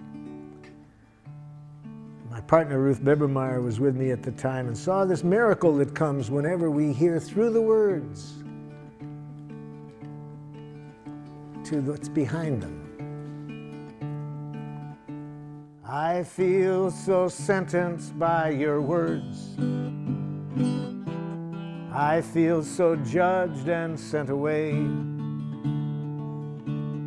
Before I go, I'd like to know Is that what you meant to say? Before I rise to my defense, before I speak in hurt or fear, before I build that wall of words, tell me, did I really hear? Words are windows or they're walls.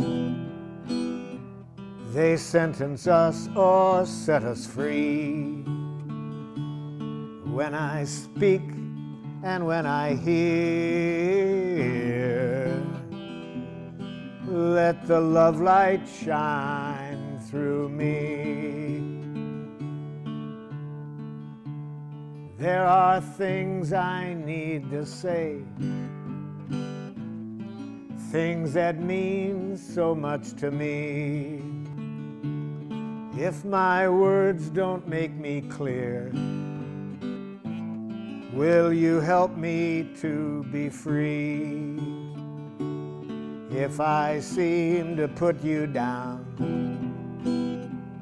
if you felt I didn't care, try to listen through my words to the feelings that we share. Words are windows or they're walls. They sentence us or set us free. When I speak and when I hear, let the love light shine through me.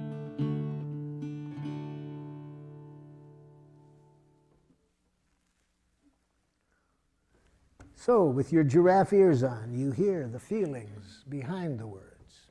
You hear the need. Every moment, we have feelings and needs. So, we're hearing the truth. What's really alive in this person now? It's better for you to hear only that because then you don't live in a world of criticism or judgments. You take away all power from other people to dehumanize you when you have giraffe ears on. You never have to worry about other people's reaction to what you say. You can be honest without fear because you know I don't ever have to worry about how others respond. Only what ears I have on to respond to their response. But I can control that. I can't control how others respond. And if I'm going to worry about something I can't control, I'll become a nice, dead person. I'll be afraid to reveal myself for fear. What if they say this? Well, who cares what they say? If you have giraffe ears on, it's a gift. All they're saying is, please, please. So let's hear the please behind the message that you hear. First, read off the message, and then let's hear how you heard the feelings and needs behind it.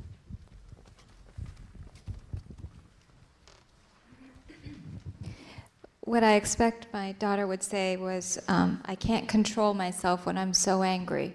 I can't control myself when I'm so angry.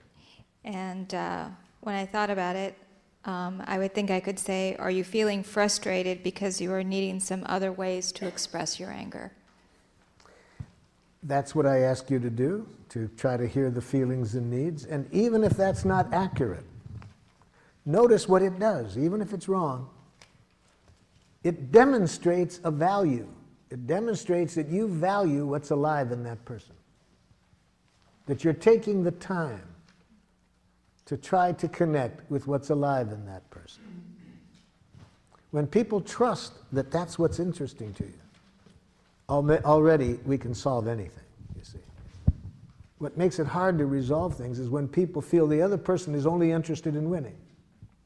They don't care about me. They're just out to show me that I shouldn't do this. But by just stopping and trying to connect, you've demonstrated a powerful value, that you value what's alive in her. Okay? Another one. Yes? Uh, with my, related to my son, are you feeling distressed, confused, because you are needing help? That's the idea. Again, even if it's not accurate, it gives the, it, notice, even if it's not accurate, it brings the other person's attention to their needs. it Gives them a chance to correct it. Better to be guessing wrong what a person need is than to hearing what they think. You'll be living in a different world when you are trying to connect with their needs than the world you'll be living in if you hear what they think. I need some help in addressing the um, feelings and needs behind the um, answer that I got back, which was one of the things that you said um, before lunch, which can be the most dangerous when somebody just said, you make a request and somebody says, yes, I'll do that. Yeah.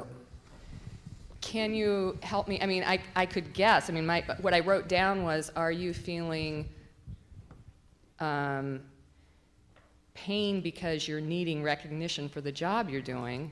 Okay, I like that. But, oh, okay. But go ahead with the but. I mean, it, it feels like there's a huge leap from the response, yes, I'll do that, to me asking that question. Yeah, it's you're trying to sense what's really behind it. That's one of the two giraffe ways. The other possibility that would also be giraffe is to say bullshit in giraffe. How do you say bullshit in giraffe? I'm feeling uneasy with your okay. Okay. Uh, I wish I could trust it, but I don't. I'd really like you to take a moment and really tell me whether it would meet your needs to do as I requested. So that's when I would guess that the okay isn't okay. So uh, that's how I would say bullshit in giraffe. Thank you. Giraffes are not nice. See, much of I think the violence in the world is created by nice people. So don't mistake the word nonviolence as being nice. Are you feeling abandoned? Not a feeling, it's a thought. Don't encourage jackals to think that way. Are you feeling afraid? Now we're cooking. Because you are needing reassurance Now we're cooking. that I will not disappear. That your needs will be taken care of. Leave yourself out of the other person's needs. They can live without you.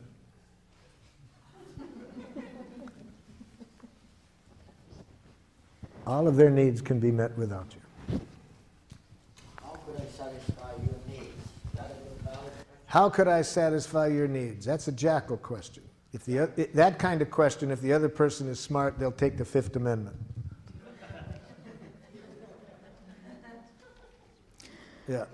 This was an answer to um, when my daughter said, You sound like you're reading from a book. You sound like you're reading from a book. And I say, Are you feeling scared, separate, or alienated? And are you needing to be responded to in a genuine, heartfelt way? Yes, but you're doing it again when you do that. so, with such a jackal for a while, until you make clear to them why you're doing it, so they will have less distrust of it, you would do just as you said, but silently. Silently? Yes. See, don't think we have to do this out loud for it to be powerful. It can be powerful if we don't say a word, as long as where our attention is, is here. You see. Even so, you might have heard just that, but maybe not have said it out loud. See. Yeah, see, that's all you can hear with the giraffe ears on. And you can hear that even if you're silent. You don't have to say out loud, you could just have heard that. But you'll show that your attention is here from your eyes. Because when we're hearing what is in a person's heart, our eyes are different than when we're hearing a criticism or when we're making a criticism. You see? Our eyes, it's not, it's not subtle. Now, the advantage in being able to say it out loud is the person can correct us if we're not accurate. But even if we don't say it out loud, we live in a different world when we're connecting here than when we're hearing criticism. Um, this is a. Um, the, the question would be um, that I would have asked would be something like I would like you to ask me for help if you need it. Yes. And then the, The- person responds. I am afraid of becoming a burden. No, there's a pretty, it's almost a giraffe response. So, how do you respond to this person? I'm afraid of becoming a burden. Now, if you're a jackal, you would say, No, you wouldn't be a burden. So, if you're a jackal, you will try to reassure. See, jackals try to fix people in pain. They try to give reassurance. They try to make it better. They can't stand pain. They immediately make matters worse by trying to get rid of the pain. In the book, When Bad Things Happen to Good People, written by Rabbi Harold Kushner. He's talking about a very tragic time in his life when his oldest son is dying. And he said, What could be worse than watching my son die? What could be worse were the things that good people were telling me to make me feel better that made me feel worse. And what could be even hor- more horrible than that?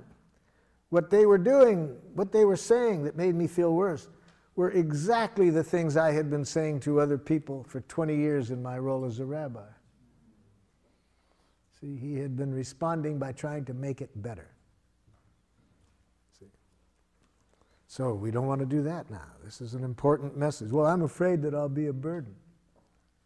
So put on giraffe ears. What is this person feeling and needing when they say that? Um,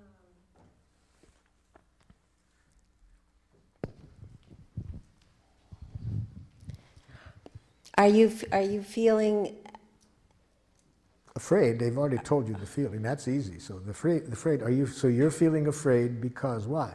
Why are they afraid? that you don't trust my offer to help? Now put that in a need. You need some reassurance? That You I'll need- really be there? No. I need reassurance that if you're there, you're doing it for you and not for me. Uh-huh. See, they want to be sure that if you're giving, you're giving out of self fullness, not selflessness. Now, what about if you're not 100%? Don't do it.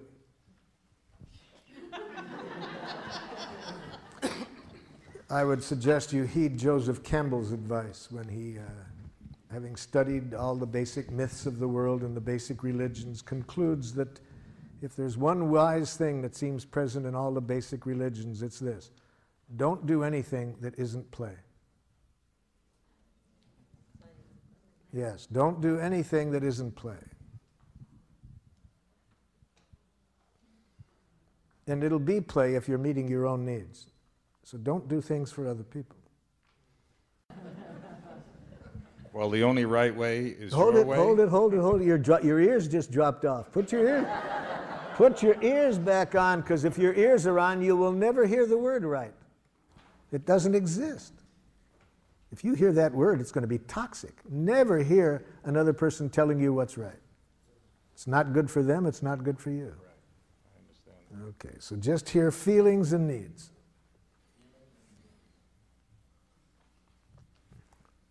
I Are tell you- you 30 times you don't listen. My God, what's, can't you see this bed? There's, there's, pardon? No, you don't. You're proving now you don't. Isn't it funny if how you were listening, you wouldn't say, I listen. Isn't it funny how he always comes in?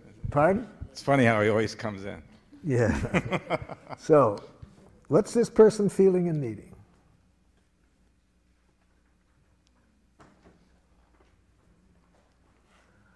Let me, let me, let me help you out. You Want me to help you out with this, Jack? Let me put on some giraffe ears here. So, Jackal, is it that uh, it's frustrating when you have a certain sense of order and you'd really like uh, to have that order maintained in the house?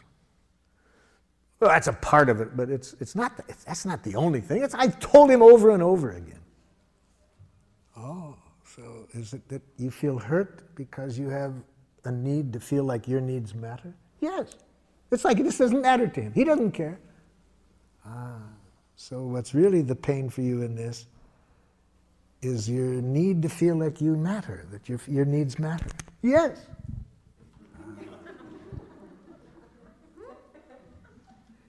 So, how do you feel when you hear the jackal say this?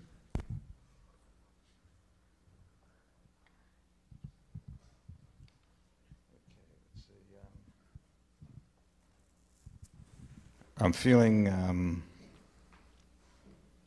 like I don't. Well, that's not a feeling. Um, I'm glad you're catching it. feeling confused. Yeah. Feeling confused. Um, primarily because I can't identify the needs that uh, are being expressed. So, you would really like to be able to hear a need like that when it's really going on. Yeah, I would like that. Yeah. You don't act like you do. Hold it, Jack. No, hold it, Jack. That isn't going to make it easier for him, Jack. That isn't going to make it easier. So you're really, it's really painful for you. It's hard to believe that he cares enough to really matter. Yes, you know, because I've told him over and over, so. So it's really for you an issue of whether your needs matter. Yes. I'm feeling that it's not so much the beds or the dishes, though. Feeling it's something else. I'm just telling you what it is. It's, it's the general fear I have that my needs don't matter to you. How do you feel when the jackal tells you that? Still confused. What makes you confused about this? Because I don't know how to respond to those needs. What, what it would take is just empathy. If she could just feel the empathy that I just gave her. If you could just say, Are you feeling in pain because you have the need for reassurance that your needs matter? Yes, yes. I've tried to tell you that for years. You don't listen. Now it comes in. I guess now I'm feeling sad because I'm not meeting uh, um, the needs. Hold your sadness. She needs more empathy. See, this is what often happens. We get to our feelings too quickly. With my help, we just got started. We just, this is not the end. There's a lot more pain in there that she needs empathy for before she can hear your sadness. So, Jackal, am I hearing you that for you, the real painful issue here is not being confident that your needs matter? My needs have never mattered in any relationship, not in my family and not now. So, what's real painful is for you to feel that your needs matter, and this has been going on a long time. Yes. Hmm. Yes, I do everything I can. I've told him over and over again. So you do everything you know how, and when your needs still don't get responded to, it really hurts. Yes. Hmm. Now, see, it hasn't been easy for me to give this jackal empathy. I was wanting to jump in and educate her, but the way you're asking for it, jackal, I think is going to make it hard for people to give it to you. See, I've wanted to say that almost every time. So I had to take a deep breath and realize empathic connection before education.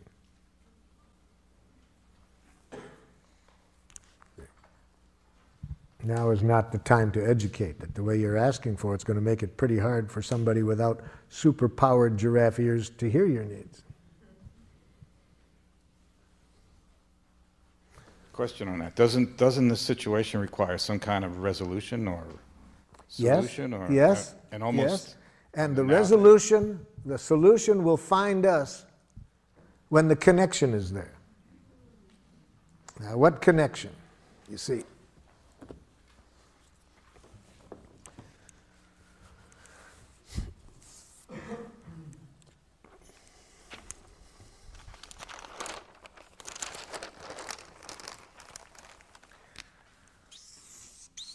here's your wife's needs. Here's your needs.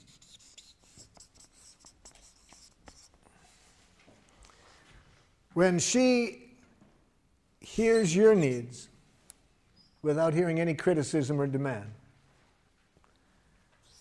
and you hear her needs without any criticism and demand, the solution will find you the conflict will resolve itself. It does need to be resolved. But what most of us do, we skip this and go right to here. For example, I sometimes do uh, workshops just with uh, married couples or other people living together in a love relationship. And what we do to begin the workshop we identify the couple who has had a conflict, the longest outstanding conflict that could not be resolved. And I make a prediction, and it's right. My prediction has been accurate in, in maybe, I'm sure, at least 75% of the cases. But my prediction is this that we will resolve the conflict within 20 minutes. Within 20 minutes from the point at which both parties can tell me what the other party is needing. Okay? Now, one time we found a couple married 39 years. 39 years had a conflict, had not been able to resolve this conflict. The wife said to me, Marshall, I can tell you right now, we're not going to be able to resolve this within 20 minutes. We have a good marriage, we communicate well, uh, but this is just one of those things that we're different people and we just have a conflict here. Now, I said, let me correct one thing. I didn't say we're going to resolve it within 20 minutes. I said within 20 minutes from the point at which you can both tell me what the other party is needing. Oh, she said, Marshall, when you've been married 39 years and you've talked about something almost every day, uh, I can tell you uh, we understand each other. The problem isn't that. We're just two different people in this issue. Well, I said, I've been wrong before. I can sure be wrong this time, but let's see. We'll find out within 20 minutes. So, first, tell me what his needs are in this situation. He doesn't want me to spend any money. He responds immediately, That's ridiculous. 39 years of communication.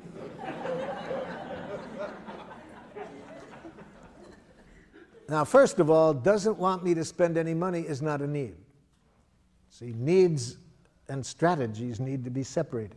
They had been talking about how much money she could spend and not spend, but the more important issue there was whether, see, whether who takes care of the checkbook. He unilaterally controlled the checkbook, which was really the main issue between them. See, but that's, I'm saying I don't even want the couple to talk about the strategies or the solutions until the connection is there. When the connection is there, the conflicts usually resolve themselves. So I pointed out to her, no, that's not a need. And even if it was, notice he's saying that's not accurate. She said, okay, let me then tell you what his needs are, Marshall. You see, he's just like his own father. They both have a depression mentality when it comes to money. I oh said, stop, stop. now I'm hearing psychoanalytic jackal. You're, you're, you know, I was going to take another 39 years if you get into that. No, I'm not asking for an analysis of his personality. I'm saying, what are his needs? She didn't know. After 39 years, she had no awareness, consciousness of his needs. So I said to him, okay, well, she doesn't uh, know. Why don't you tell her? Well, Marshall, uh, let me tell you what her needs are. You see, she's a lovely woman, lovely woman, wonderful mother, a wonderful wife. But when it comes to money, she's totally irresponsible. Here comes another 39 years, you see. I ask for a need, and he gives me a diagnosis. And of course, she immediately says, That's unfair. I said, Hold it, hold it, hold it, hold it. So I could see they didn't have a need literacy, so I had to loan them my ears. So, with giraffe ears, of course, I'm conscious that all judgment, she's totally irresponsible, is a tragic expression of an unmet need. You see? So if she would have had these ears, they would have been able to resolve this in the first year of their marriage. But she didn't. She was taking it personally. So I helped them out. I said, when you say she's irresponsible, are you feeling frightened and need to be sure the family is protected economically? He said, That's exactly what I mean. Well, that wasn't what he had been saying for 39 years. But he didn't know how to say his feelings and needs. Okay, so I've got his needs identified. He was scared, wanted to protect the family economically. I turned to his wife and said, Could you tell me back what you heard him say? But because I did, you know, one time I overdrew the checkbook when we were, you know, first married, now he thinks, said, excuse me, excuse me. Excuse me. Notice what the first word that she said was, but. See, she doesn't know the cardinal giraffe rule. Never put your butt in the face of an angry person.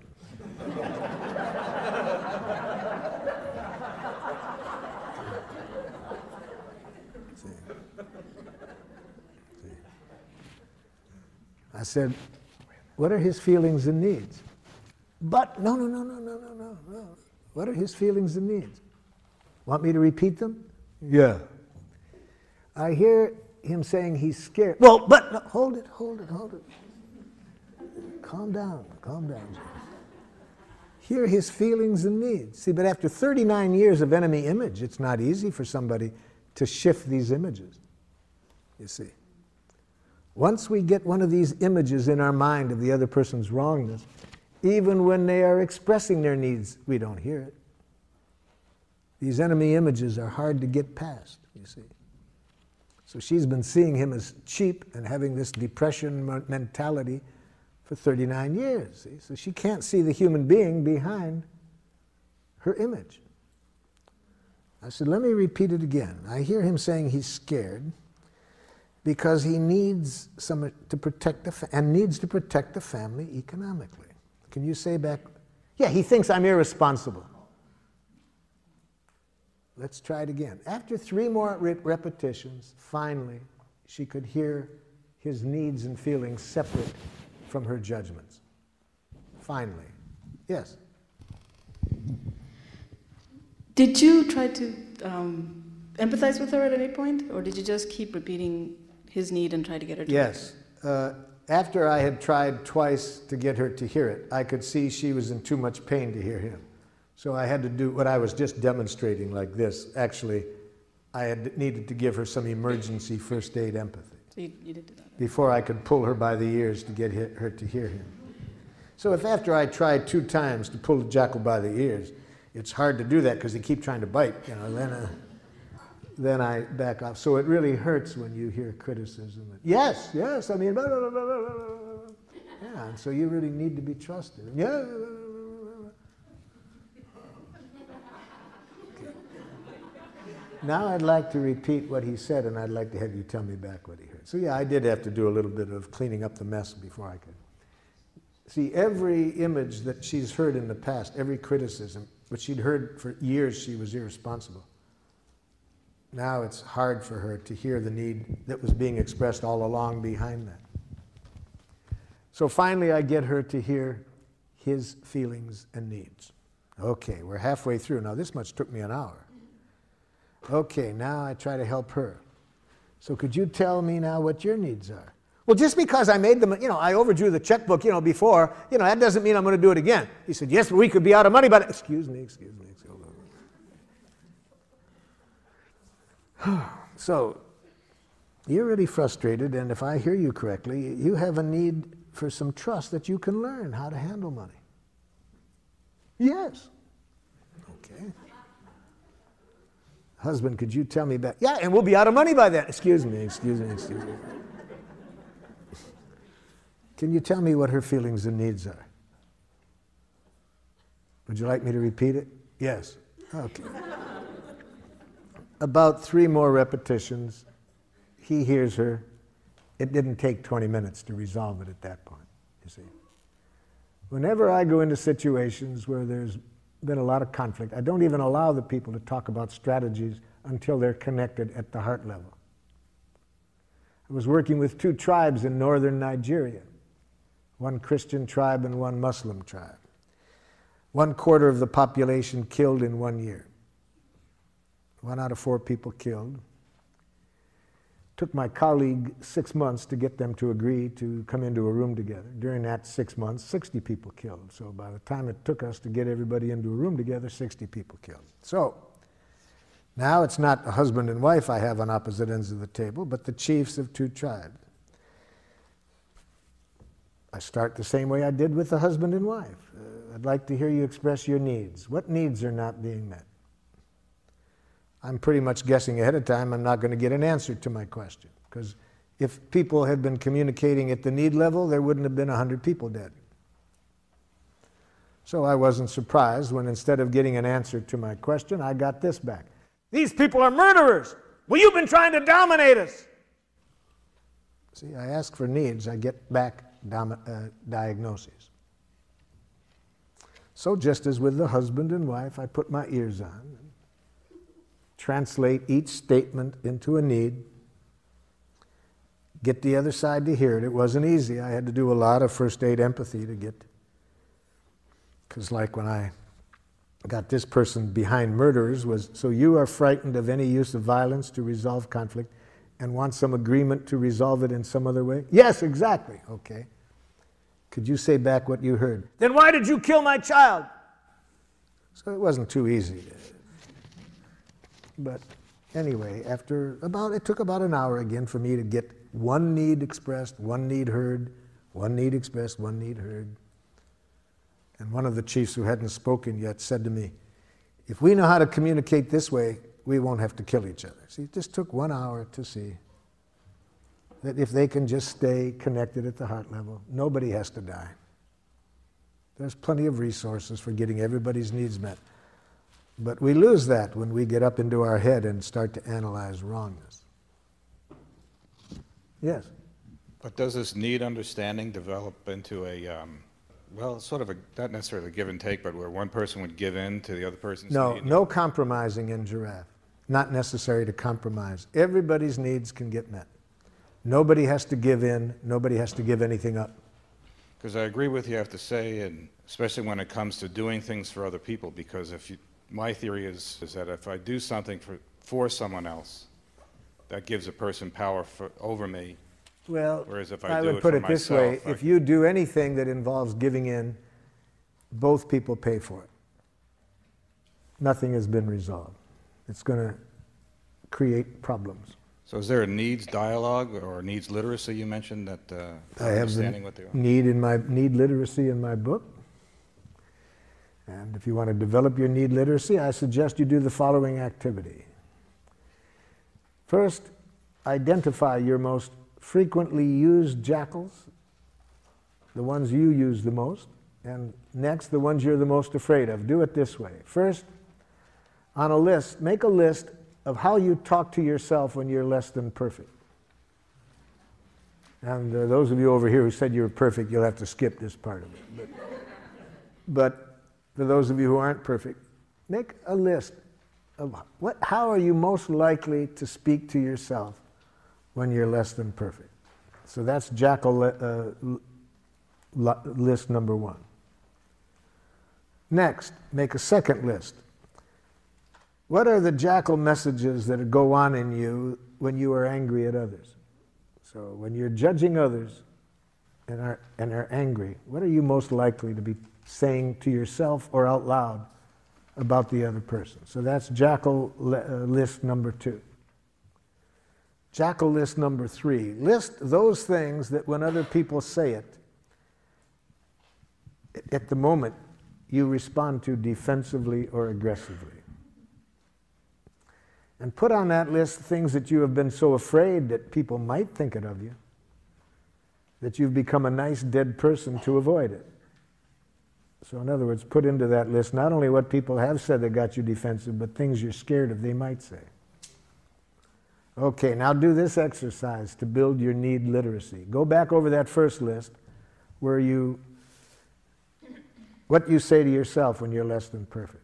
Now, for each judgment, think of what might have been the stimulus for it. See, you've got to relate each of these to a specific context. So, say to yourself, let's say the first thing is you have in your list, list number one, what a dumb thing to do. Okay. Think of what you might have done to stimulate that. Okay. Then put on giraffe ears and hear the need behind stupid. See, I'm saying that all judgments are tragic expressions of unmet needs. So ask yourself if I, when I say that to myself in that situation, how stupid, what need am I expressing through that judgment? What need of mine isn't getting met? And here's where you can use the list in my, my book. If you can't come up with it yourself, just look through the list and your body will tell you when you're getting close. Really, because, oh, ah, yeah, yeah, yeah, that's what my need is. See, the need comes much closer to the truth than any judgment you make of yourself. So do that for every item on the list. Second, what you tell yourself when you're angry at others. Again, identify concretely what the other person might have done to stimulate this. Then ask yourself this question When I judge people as idiots for doing that, what need of mine was not being met in that situation? Again, try to guess it without my list, but if you can't find it, look through my list to find one that comes closest. The third list, what others say to you to get you defensive. Practice putting on the giraffe ears. Imagine what you did to stimulate it. And in that situation, guess what the other person's needs were that weren't getting met. So you see, it's just learning a new language, learning for every time there are these jackal judgments, to as quickly as possible to bring yourself back to life. Or more specifically, connect to needs. Needs are life. Yes. My question is I never know what to do when I know I'm never going to meet another person's, you know, expectations of me. Yes. Well, first of all, never hear an expectation. That's, that's thoughts. Expectations are thoughts. Don't hear it. Don't even hear expectations. Hear what the need is. What is the need that the person is asking for you to meet? You don't want to live up to expectations, but it is fun to meet needs. Do you think that every that human beings can always meet other people's needs if they're real? All of our needs can be met. I don't think you have to do it. There's several billion other people that could meet the other person's needs. Even if you could do it, you may choose not to. I see. And that won't be a problem. The other person can hear a no if they first feel empathy for their feelings and needs. That will leave them feeling at least that their feelings and needs matter. Right. That makes sense. Yes. But then again, you're not, you have to know how to say no in giraffe. That would be good for me to learn. Well, let me help you out. Never use the following words when you're saying no in giraffe. No. I can't. I don't want to. I don't have time. It's not possible. Okay. Now you know how not to do it, right? Now here's how you do it. To say no in giraffe, you need to be conscious that a no is a poor expression of a need. So say the need that keeps you from saying yes. No. so if you had giraffe ears on just now, you wouldn't have heard me saying no. You would have said, What is Marshall's need that's keeping him from saying yes? And you might have said back to me, Marshall, are you having a need for completion of other things you'd like to do right now? You see? You would have tried to hear the need behind the no. So what I said is, all no's are tragic expressions of a need. So say the need that keeps you from saying yes. Don't say no. The way that I have this framed, I, I feel as though I am um, responding to a person's expectations.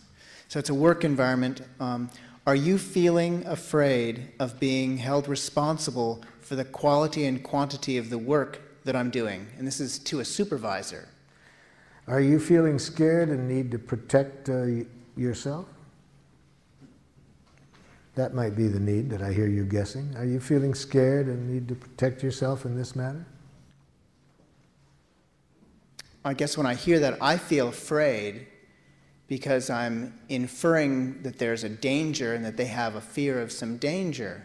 If this is what you're guessing is alive in them, you're not saying it's right. See, we never say you are feeling. We always say, are you feeling? We may be wrong, but we're trying to get clear what's going on in this person. Are you feeling afraid and need to protect yourself? And taking the my performance part out of it. Is it, you're Yes, saying take yes. the me out of the Yes. Just giraffe try to hear the feelings and needs without you. You, you've incur- you know, we know what that is in this situation. You, they're talking to you about some things you've done or haven't done. So, in the context, it, we're, we're pretty clear what's going on. What we want to hear now is their feelings and needs. Are you feeling scared and need to protect yourself in this matter? Now, if this is in many settings where the people are not used to having feelings dealt with, this may this the other person might get very upset with having their feelings being talked about. In which case you do it silently. But if you're a giraffe, you hear feelings and needs in every message. Whether you do it out loud or not, politically we adjust when we might do it out loud. But, but we don't allow anything else into our consciousness except this other person's feelings and needs. Um, I think you said earlier that there's no compromise in giraffe communication. Yes, And so I would find it instructional to know how the problem between the husband and wife was resolved Yes. and how it was a win win situation for both of them. First, once there is empathy, people feel that their feelings and needs matter, which is done through the empathy. Uh, you don't have the competitiveness, you don't have the charge. So here's how it went. After they both hurt each other, he heard that it would really hurt for her not to be trusted, that, that she could learn. And once he felt really understood how scared he was that if she were to do what she did when they first got married and overdraw the account, and she could hear that he wanted to protect the family. I think most six year old children could resolve the conflicts that get nations into wars in which thousands are killed if you gave the six year olds, you said, look, here are the needs on both sides, here are the resources. I'm confident most six year olds could solve the conflict. So, in this, it doesn't take a genius. What did it do? She said, I want a trial period to learn how to do it. First, he said, I'm scared because, you know, you could go through a lot of money learning. So she agreed that during the trial period, he would supervise her until he felt comfortable that she knew how to do it. Okay, that took about seven minutes. But they hadn't been able to get to that in 39 years because of all the enemy images, the hurt, and so forth.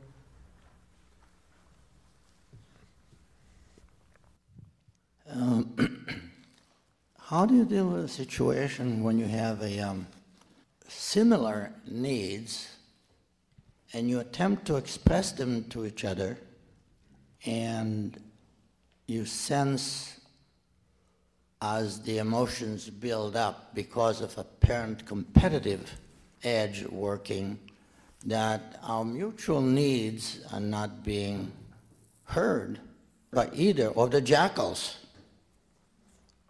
Then you either need to get a third party to give both of them the empathy they need to hear each other. So if the two people are in pain, they don't know how to give themselves enough empathy to be able to hear the other side, then you need to get a third party to give the empathy of each of them so that they can then hear each other. And that third party is, should be together with these two individuals or separately? There's different ways to do that. They're together, there's some advantages.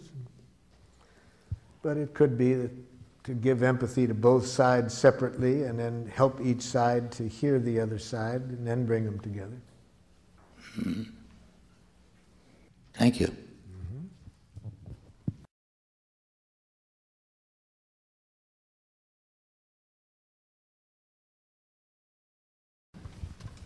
Um, this morning you made a reference to giraffe mourning and that there's a different way of saying you're sorry to someone, and I wanted to hear what that was. Okay, let's real quick look at what I mean by giraffe mourning. Think of something you did that you wished you hadn't done. and identify, recall as best you can how you talked to yourself when you said it, or did it, whatever you did. So, what did you do that you wished you hadn't done after you had done it? And give me a sample of what you said to yourself when you did it. You have one in mind?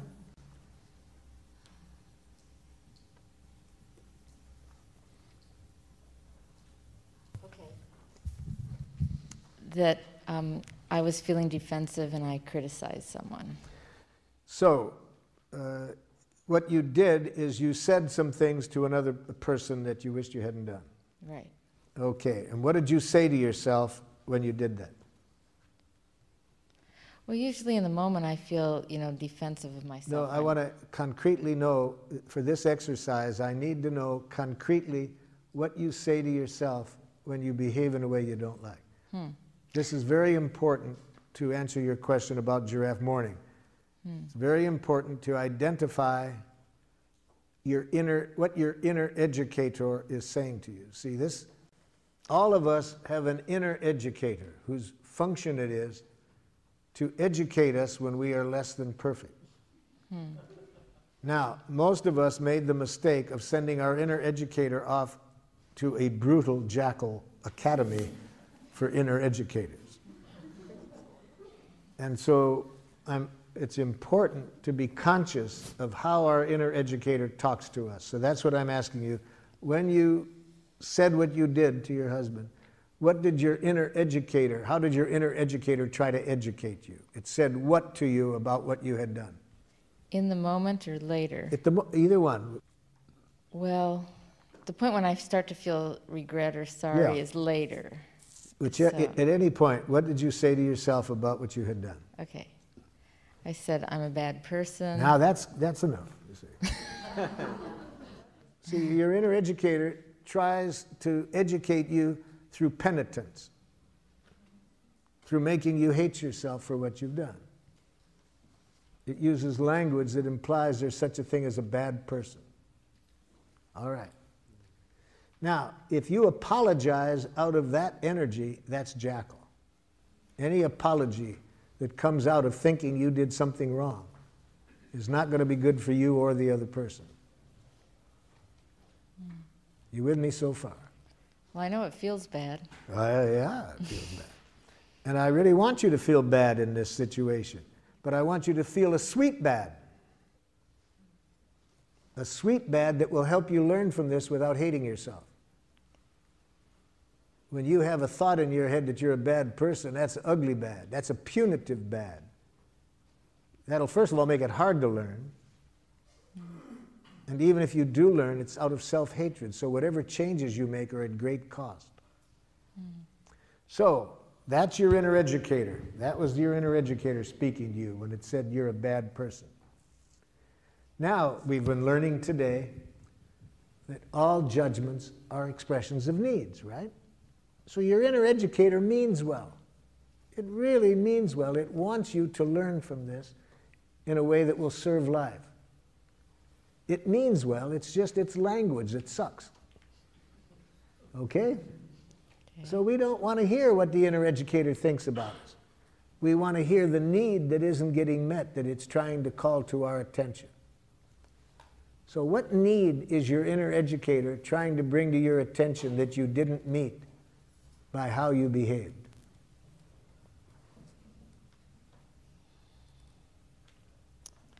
Uh, a need to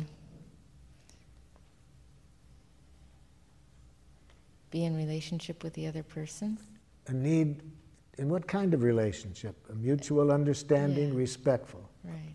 So, it didn't meet your need for respecting and understanding the other person. Yeah. And how do you feel when that need isn't met?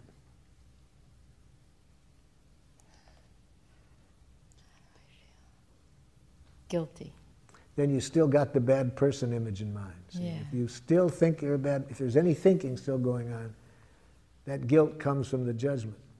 Well, I feel separate and isolated. But how do you feel? What emotion do you feel about not meeting your own needs for understanding and respecting? See, the guilt comes from that image of bad person, but what feeling comes from not meeting your need to respond to a, this person with respect and understanding? Sad. That's a sweet pain. See, that's giraffe mourning. So if you say to the person, you know, the way I talk to you, I feel really sad. It doesn't meet my need for respecting you and understanding you. Hmm. You see, there's no image in there that I'm a bad person. I'm sad. I didn't meet my own need for respecting and understanding you. Check with the other person what they'd rather hear. Whether they'd rather hear the giraffe mourning or the apology that you're a bad person. Yes.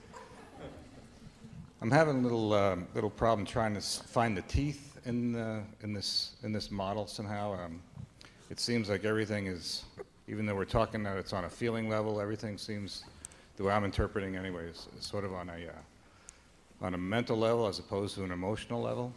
And I guess I operate a lot from my gut, uh, and I'm trying to be, try, I'm trying to get down to that somehow. Mhm, So I need some help with it. Basically, uh, tell me how I would be able to use this, this technique in my daily life. Mhm. Um, and uh, to make it, uh, not to make, well, so that it's, a, it's natural. You know, it's not natural for me to operate this way. And, The first thing I would, rec- the first thing I would recommend to you is change the word natural to habitual. Change the word natural to habitual. I think this process is natural, more natural than the way you were trained to think. So Gandhi says it's very dangerous to mix up the words natural and habitual. He says we have been trained to be quite habitual at communicating in ways that are quite unnatural.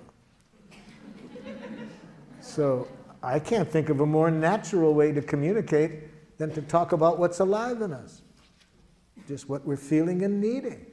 But when you feel like saying, if- if I feel like saying no, saying no seems okay to me. But what you were saying before is that, What you mean? What do you mean by okay? It's okay to say no. what do you mean by what do I mean? You know, we can go back and forth. Pardon? We can go back and forth by yes. asking each other. so let me be more specific. When you say no, I predict that by saying no, more often than you would like, the other person is going to react to you in a way that isn't in your well in your best interest. But if you say the need behind the no, that's less likely to happen. So then, if I understand what you're saying, you're trying to, the idea is to, is to communicate in a way that the other person would communicate back to you so that it's in my best interest? I'm saying the purpose of this process is to get everybody's needs met, and that the needs are met by people giving willingly, not out of any coercive motivation. And I'm saying that when you say no, it gets in the way of the likelihood that everybody's needs are going to end up getting met. If you say the need like- that keeps you from saying yes, I predict there's more likelihood that everybody's needs will end up getting met. So it's just, uh, what you're, if I understand what you're saying, you're saying just express your needs without saying the no, but I I'm saying the need saying is no a clear, the my need is a clearer expression of what you're trying to say than no. You get clearer, more connected to life when you say the need that keeps you from saying yes than just saying no. And it's less likely to be interpreted as a rejection, as you being defensive. It's much, to say the no by itself, I predict is more likely to get you interpretations that aren't in your best interest. Sometimes when I don't hear a no, I look at it as being sort of a passive aggressive response to uh, something that I might um, want. Someone, you know, let's say if you, say if I make an appointment with somebody, and instead of them saying no, they just don't show up, Yes. and then they give me a reason why they don't yes, show up. I'm not suggesting that. I'm not suggesting that response. I'm suggesting that I would have liked that person to have told you honestly at the time what their need was. I think if they had done that, you wouldn't have gotten into that situation. They said a yes that wasn't so. Some people are, won't say, I'm afraid. Pardon? Let's say if the reason is that they're afraid to, That would depend a lot on what has happened in the past to them when they have said no in whatever way they didn't. They did it. If they have not enjoyed very uh, empathic responses to it in the past, then they're probably afraid to be honest about it now. I see the value in all of this. Yeah. I really do. I guess it's the idea that it's a touchy-feely type of thing uh, that I'm not used to working around. That I'm, What you're trying to figure out, if I'm understanding, is how to really put this into a idiom that you can use daily and feels comfortable to you. that's one way of putting it. yeah. Yeah. And so in our training, we first show people how to develop the literacy and then how to put it into their, their regular language. I had a student traveling with me, and he wanted to give me uh, an a gratitude. Okay? and he liked something I did. I was really working a group hard. And during the break, he said, Dictator. That was Giraffe. Because he knew that I knew what he was reacting to. He knew I wouldn't hear a judgment. He knew I would guess in there what he was feeling and needing. You see, so he could say that to me, dictator. So after we really know how to clearly identify our feelings, needs, requests, then we can start to put it into a language that can connect us with the people we're speaking with.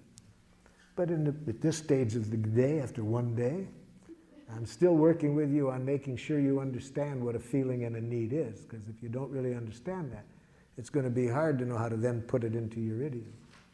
I guess I'm a recovering New York jackal, you know. I'm getting the impression that apology isn't really the best service of being a giraffe. And I'd like to know if you could model, I'd like to see you model for me an acknowledgement of missing the mark, sinning courageously. If you, Um, if you recall earlier, I showed an example of that where I showed the person saying, I feel sad. I would have liked to have responded with more understanding than I did. so you're not using the word "I'm sorry." You're saying "I'm sad." You're It's, telling mo- your it's not so much the word I'm sorry. What we shifted from was thinking that I did something wrong, that it was bad. It's that thinking that is the problem. And the I'm sorry follows from that thinking. So it's not just that I don't say I'm sorry, I say I'm sad. If I'm sad. See, the word I'm sorry means almost nothing. Right, people, feeling. people can say that and not feel anything.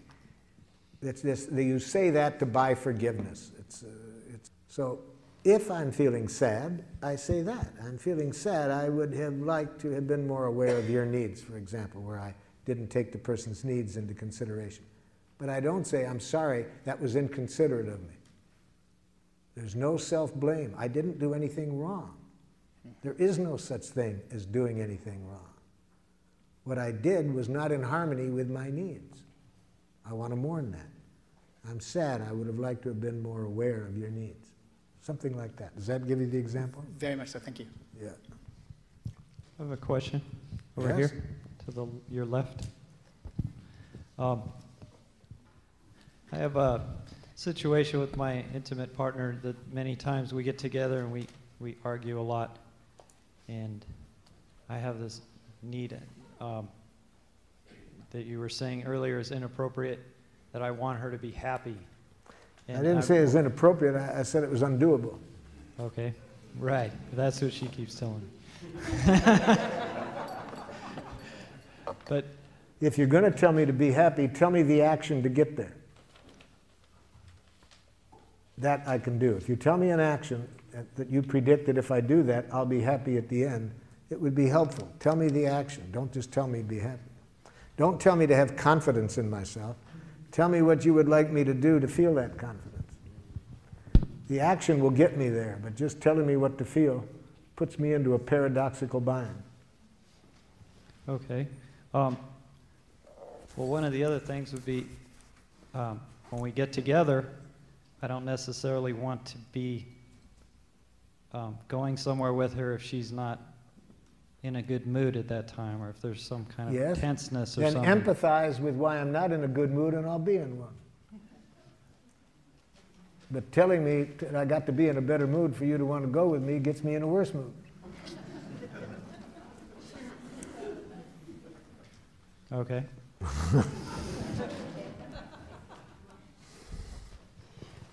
Um, I'm wondering if there's sometimes when it's over here, it's uh, I'm I'm feeling some anxiety about a trip I'm planning to visit my mother soon, and we have a dynamic where she really wants to help me figure out every detail of what I'm doing during my stay, and I like to be left So alone. let me show you how to do it.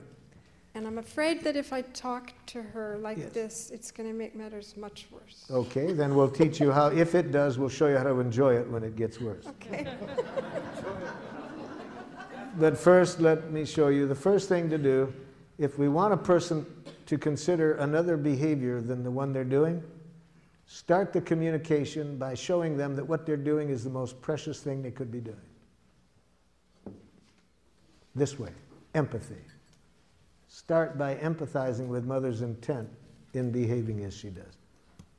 Mother, I'm guessing that when you jump in and want to uh, show me all the things that could be done, you really care a lot about my enjoying myself on this trip and want to be sure you support that. Oh, yes, yes, there's a lot of things. Blah. Yeah, so it's really very important to you that, uh, that I have a good time and you want to contribute to it. Yeah. That's step one. See what I mean? That's what I mean by starting, by showing you understand. Now, the more we're concerned about that behavior, the more important it is to start with this.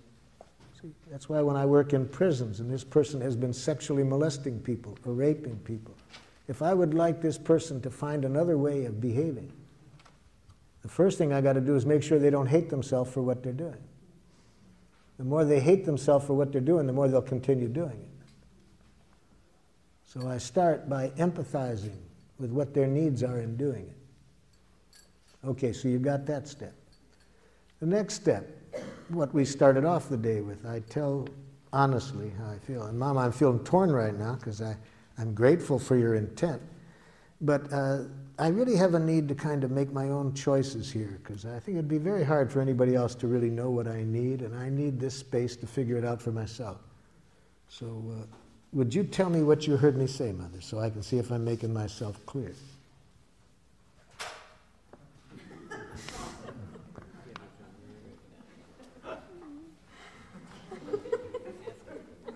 So now I know Mother didn't hear me. Now I know Mother didn't hear my needs. She probably heard a rejection. She probably heard that she's not valued.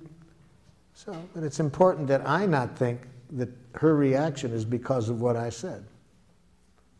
If I express my feelings and needs, it would be impossible for a person to react this way if they heard it. They would have gotten a gift. They would have the eyes of a little child getting a gift from Santa Claus. That doesn't look like what mother's looking like right now. So, so mom, could you tell me what you just heard me say? You don't want me. So you heard it kind of as a rejection, mother. Of course, how else could I have heard it? Well, thank you for telling me you heard it as a rejection, mother. Uh, notice I didn't say, that isn't what I said. See, if you want to make it, if you want to have people understand you differently, never tell them you're misunderstanding me. Never say, that isn't what I said. Say, thank you for telling me that's what you heard. I can see I didn't make myself clear. I'd like to try again, Mother. As I do value very much your offering to help, but I have a need to kind of get my own needs clear and structure my own time. Can you tell me what you hear me say? So you think I don't have any intelligence about helping you. Thank you for telling me that's what you're hearing, Mother. I'd, still, I'd like you to hear it differently. I'd like you just to hear my needs, that I have a real need to kind of sort things out for myself and structure my own time. Could you tell me what you heard? See, you have a need to kind of get clear for yourself what you want and to figure things out. Thank you, Mother. See how easy it is to get empathy from a jackal? Just about three ear pulls and I got it, right?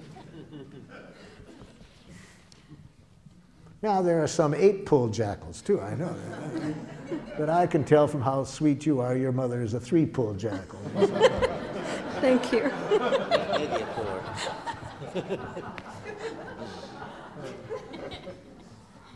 yes. You mentioned uh, you mentioned earlier this morning about enjoying suffering. Could you Yes. elaborate on Oh, that? Oh yes, that's, that's very important. Thanks you for bringing back to me about it. Okay, a friend of yours says this to you I'm a nothing. I'll never amount to anything. Look at I'm an assistant clerk at age 45. And my brother's a head of his company. My sister is a top attorney. And, and I'm a nothing. Okay? Now, to enjoy this person's suffering, we have to release ourselves from two kinds of responsibility. First, that we didn't cause the pain. And we want to release ourselves from that, especially when the other person is trying to make us believe we did cause the pain. See, so if this person had started, and you're at fault for all of this, why am I nothing? Especially when a person says that, we do not want to in any way think we caused this person's pain, because you can't cause another person's psychological pain. Well, in this case, the person wasn't saying that, so that's pretty easy to liberate ourselves from feeling responsible. But the second one is the hard one to think we have to fix it, to make the person feel better. The more we think it's our job to make a person feel better, the more we're going to make it worse. Because you can't fix people. The good news is you don't have to. There is a very powerful healing energy always available if we don't block it. And how do we block that energy? By trying to fix things ourselves. So, how do we help that energy do the job? By empathy. And empathy requires presence, just to be present. When we are just present, when we are remembering the Buddha's advice, don't do something, stand there. When we do that, and that energy works through us, there is a precious connection between that person and us. And that precious connection is what I mean by enjoy the to enjoy that precious connection. And whether this person's feeling joy or pain, if we are present there with them, that's what I mean. But we block that beautiful energy whenever we step in and think we have to fix things. So if we say, oh, they're there, you'll feel better, it'll get over we make it worse. When we start to give advice, we make it worse. So, what does that look like? So, you're feeling really discouraged and really would like to have achieved more in your life at this moment than you've done. Yes, yes, I've had every opportunity, and look at me, I've just never made use of anything, you know. Yeah, so, you're really discouraged and frustrated and uh, would really have liked to have made different use of some things than you have. Yeah. See, I'm just present, I'm not trying to fix it. And when that happens, there's a very precious connection. That's what I mean by enjoyment. And that precious connection does the healing, not your advice, not your whatever. Yes? Can you clarify the distinction between empathizing and sort of encouraging and supporting the soap opera of, you know, somebody who is um, somebody who's suffering, and sometimes by being there, it's sort of a subtle encouragement as opposed to. Um, the subtle well, encouragement that I think you're talking about comes about when this person is talking about what happened to them for the 50th time you've heard the story. So if I'm really listening to them, I don't hear what they talk about about the past. Because I know that the more they talk about the past, the less healing will take place. So I interrupt. But I interrupt to bring the conversation to life. They're talking about the past, and I interrupt and I say, Excuse me, but sounds like right now you're still feeling hurt because your need for respect wasn't met in that. See, because just letting them talk about the past and asking them questions about what happened about the past is to just keep the soap opera going. So I interrupt when they talk about the past because we don't heal by talking about the past. We heal by talking about what's alive in us right now, stimulated by the past. But it's what's here now. And when I connect at that level, they won't keep talking about it. They'll heal. Last question, and then I'm going to get into uh, the subject that I'd like to cover before the end. Yes. Um, I, you talk about um, having, uh, let's see, that someone else cannot cause our emotional pain. That's right. And I think about the, the abuse that I grew up with and that I see in, in yes. a lot of families yes. and, and the suffering that I've yes. experienced throughout my life. Yes. Through my recovery and all that. And, and yes, and other people were a stimulus for your suffering. And you were participant by how you dealt with it. How- For, for example, if you follow me in my work, you would see this very clearly. Uh, in places like Rwanda, Burundi, uh, Sierra Leone, I'm working with people that have had their families killed. Some of those people have such rage that all they live for, moment by moment, is the possibility of vengeance. Others have no anger, have never had anger. Same exact stimulus. They have deep feelings, but not rage. So it is not the stimulus that determines how our emotional reaction is. That part is up to us. I, have, I work with some women, unfortunately a lot, who have been raped. And some of them feel shame, deep shame. Some feel rage. Some feel other things. So the same stimulus depends how people take it, whether they feel shame, rage, or other things. I'm working with a woman from Rwanda who had, she heard her three children being killed because she got to underneath the sink, hid underneath the sink in time. Her children didn't make it to the hiding place in time. They got killed. She heard them. She heard her husband being killed and her brother. She had to stay underneath there 11 days to save her own life because they stayed in the house after they killed the family. This woman has deep feelings, but never once has she had the kind of anger that makes her want to get vengeance. She's put all of her feelings, and lots of them, into protecting, preventing this happening to anybody else. You see? So the way she looked at it leads her to want to prevent this happening to anybody else. She came to my workshop because she wanted to know how to deal with the rage toward her from other people in her tribe who are furious with her that they don't want, she won't join their efforts to kill the other people. Same stimulus, quite different reactions. Okay, so I had this stimulus, and somewhere I learned how to deal with it in the way that I had dealt with it, and I'm learning to change that now. Yes. The worst thing, of course, would be no matter how you did choose to deal with it, is to think there was something wrong with how you chose to deal with it.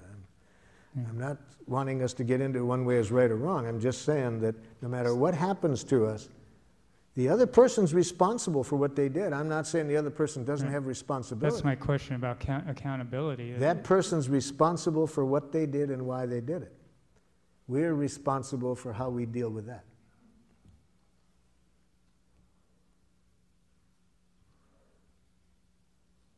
Okay? Let's get I, I'm just wondering how a child becomes responsible. I mean, still, you know, children. The first thing that I do is I wouldn't want to teach the child the lesson I just taught you until I had given that child all the empathy that child needed, and I would guess it would be a lot. So I can see myself dealing with a long time of hearing this child's enormous pain as a result of this.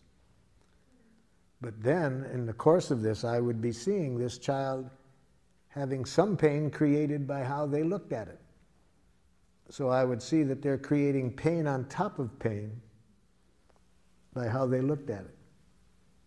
So, after the child had all the empathy he or she needed, then I would do what I could to get them to see it in a way that wouldn't create unnecessary pain for themselves.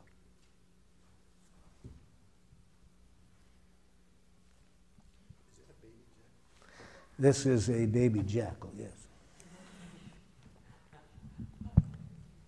Okay, now what I'd like to do in the precious time that we have left, uh, deal with a very important part of giraffe, because I wouldn't want you to get the idea that uh, nonviolent communication is solely interested in conflict resolution, because it's equally interested in celebration.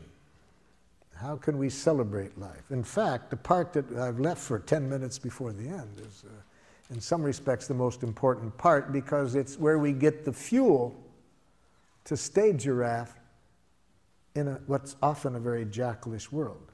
See, so it's going to be pretty hard to make this radical transformation into back to our nature in many situations unless we're getting plenty of fuel. Now, where does the fuel come from? The fuel comes from celebration. And what kind of celebration? Comes from saying thank you in giraffe. So let's see now in the last minutes how we celebrate by saying thank you in giraffe, expressing gratitude in giraffe. And first, I'd like to remind you of how jackal is, jackals say thank you. You did a good job on that paper. You are a very kind person. You're a good dancer. Can you see why that's jackal? Moralistic judgments. Positive moralistic judgments are equally as violent, in my estimation, as negative ones. Namely, they reinforce the idea that the negative exists. If I say you're a kind person, I'm implying there's such a thing as an unkind person. I'm also implying that I'm the judge that knows the difference. So, no more praise or compliments, okay? No more praise or compliments. Especially when you intend them as a reward. That's the ultimate dehumanization, to use thank you as a reward. To say it for the purpose of trying to reinforce something, to get the person to continue doing it. It's like sending a, you know, what, what goes on at dog obedience school?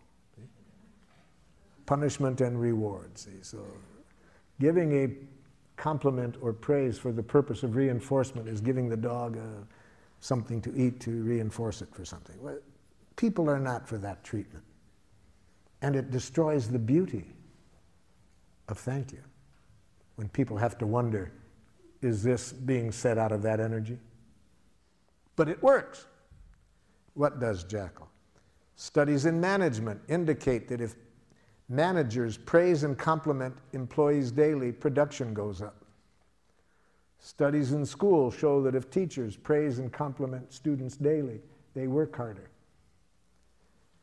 Jackal, take another look at the research. I think you'll see that that only works for a very short time until people see the manipulation. And then it no longer works and it destroys the beauty of thank you because now you cannot even trust gratitude without wondering whether it's being used as a reinforcement, as a reward.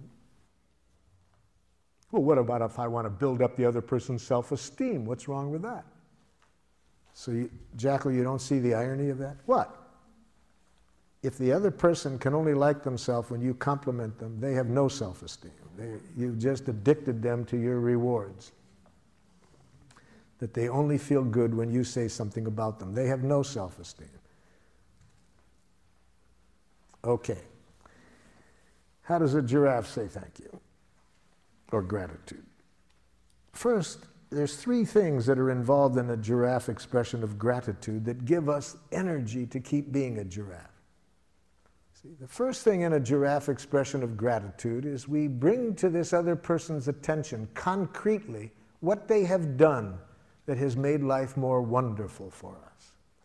See, that's what we need to do daily. We need to bring our consciousness and attention to the power that each one of us has to make life more wonderful. Each of us is a powerhouse. We have words that have the power to contribute to making people's lives more wonderful.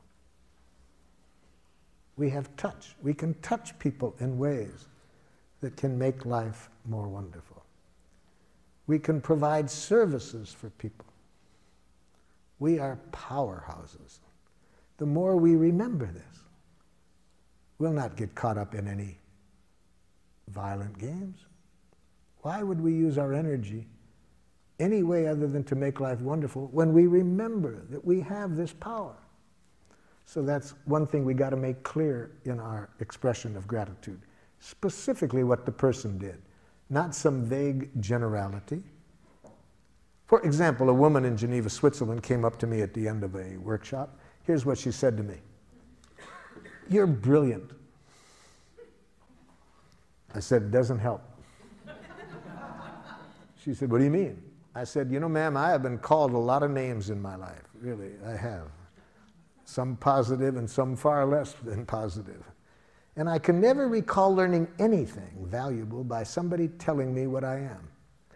I think there's zero information value in being told what you are, and great danger, you might believe it. And it's, just, it's just as dangerous to believe that you're smart as that you're stupid. Both of them reduce you to a thing. You see, we're much more than either of those. But I can see in your eyes that you want to uh, express some gratitude. Yes, and I want to receive it, but it doesn't help me to be told what I am. Well, what do you need to hear? What did I do to make life more wonderful for you? Well, you're so intelligent. No, it doesn't help.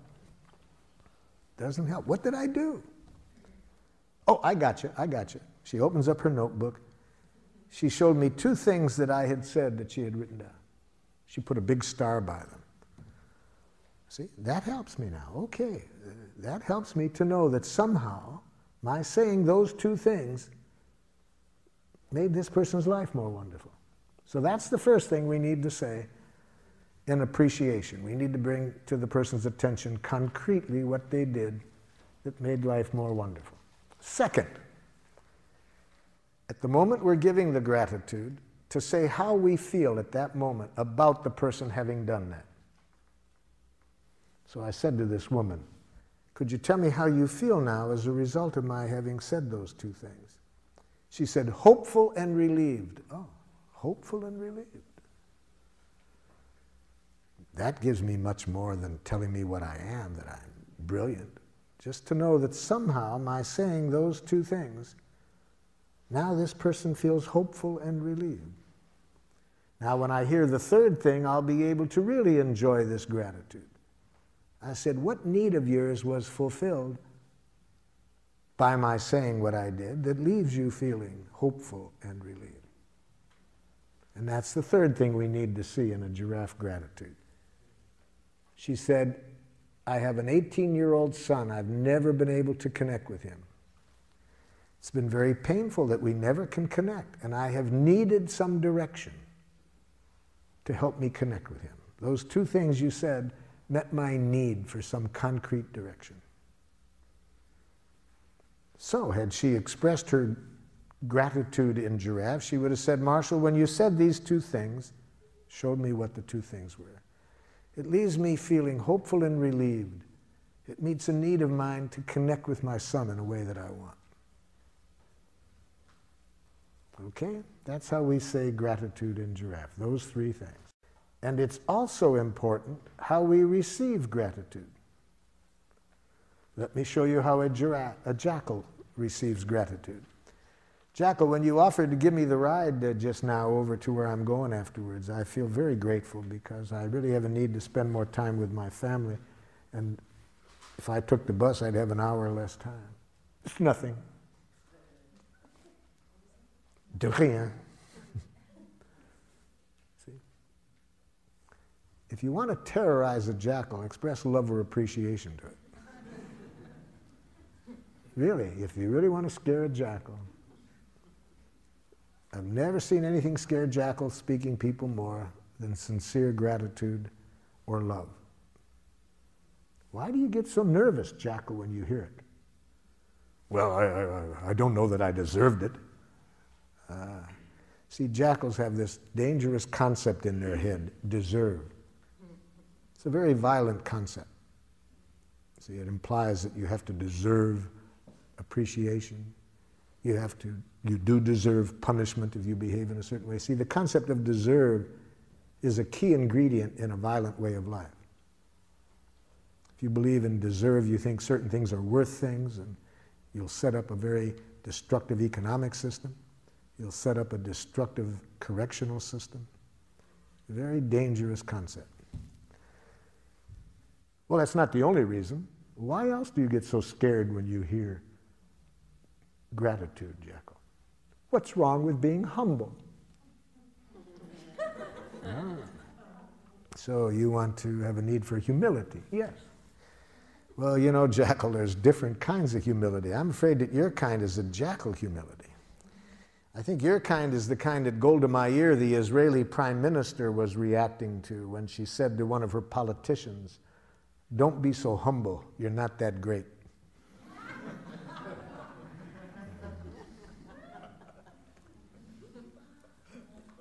But the main reason that I believe that gratitude is so scary for many of us to receive is beautifully and poetically written in A Course in Miracles, where they say it's our light, not our darkness, that scares us the most.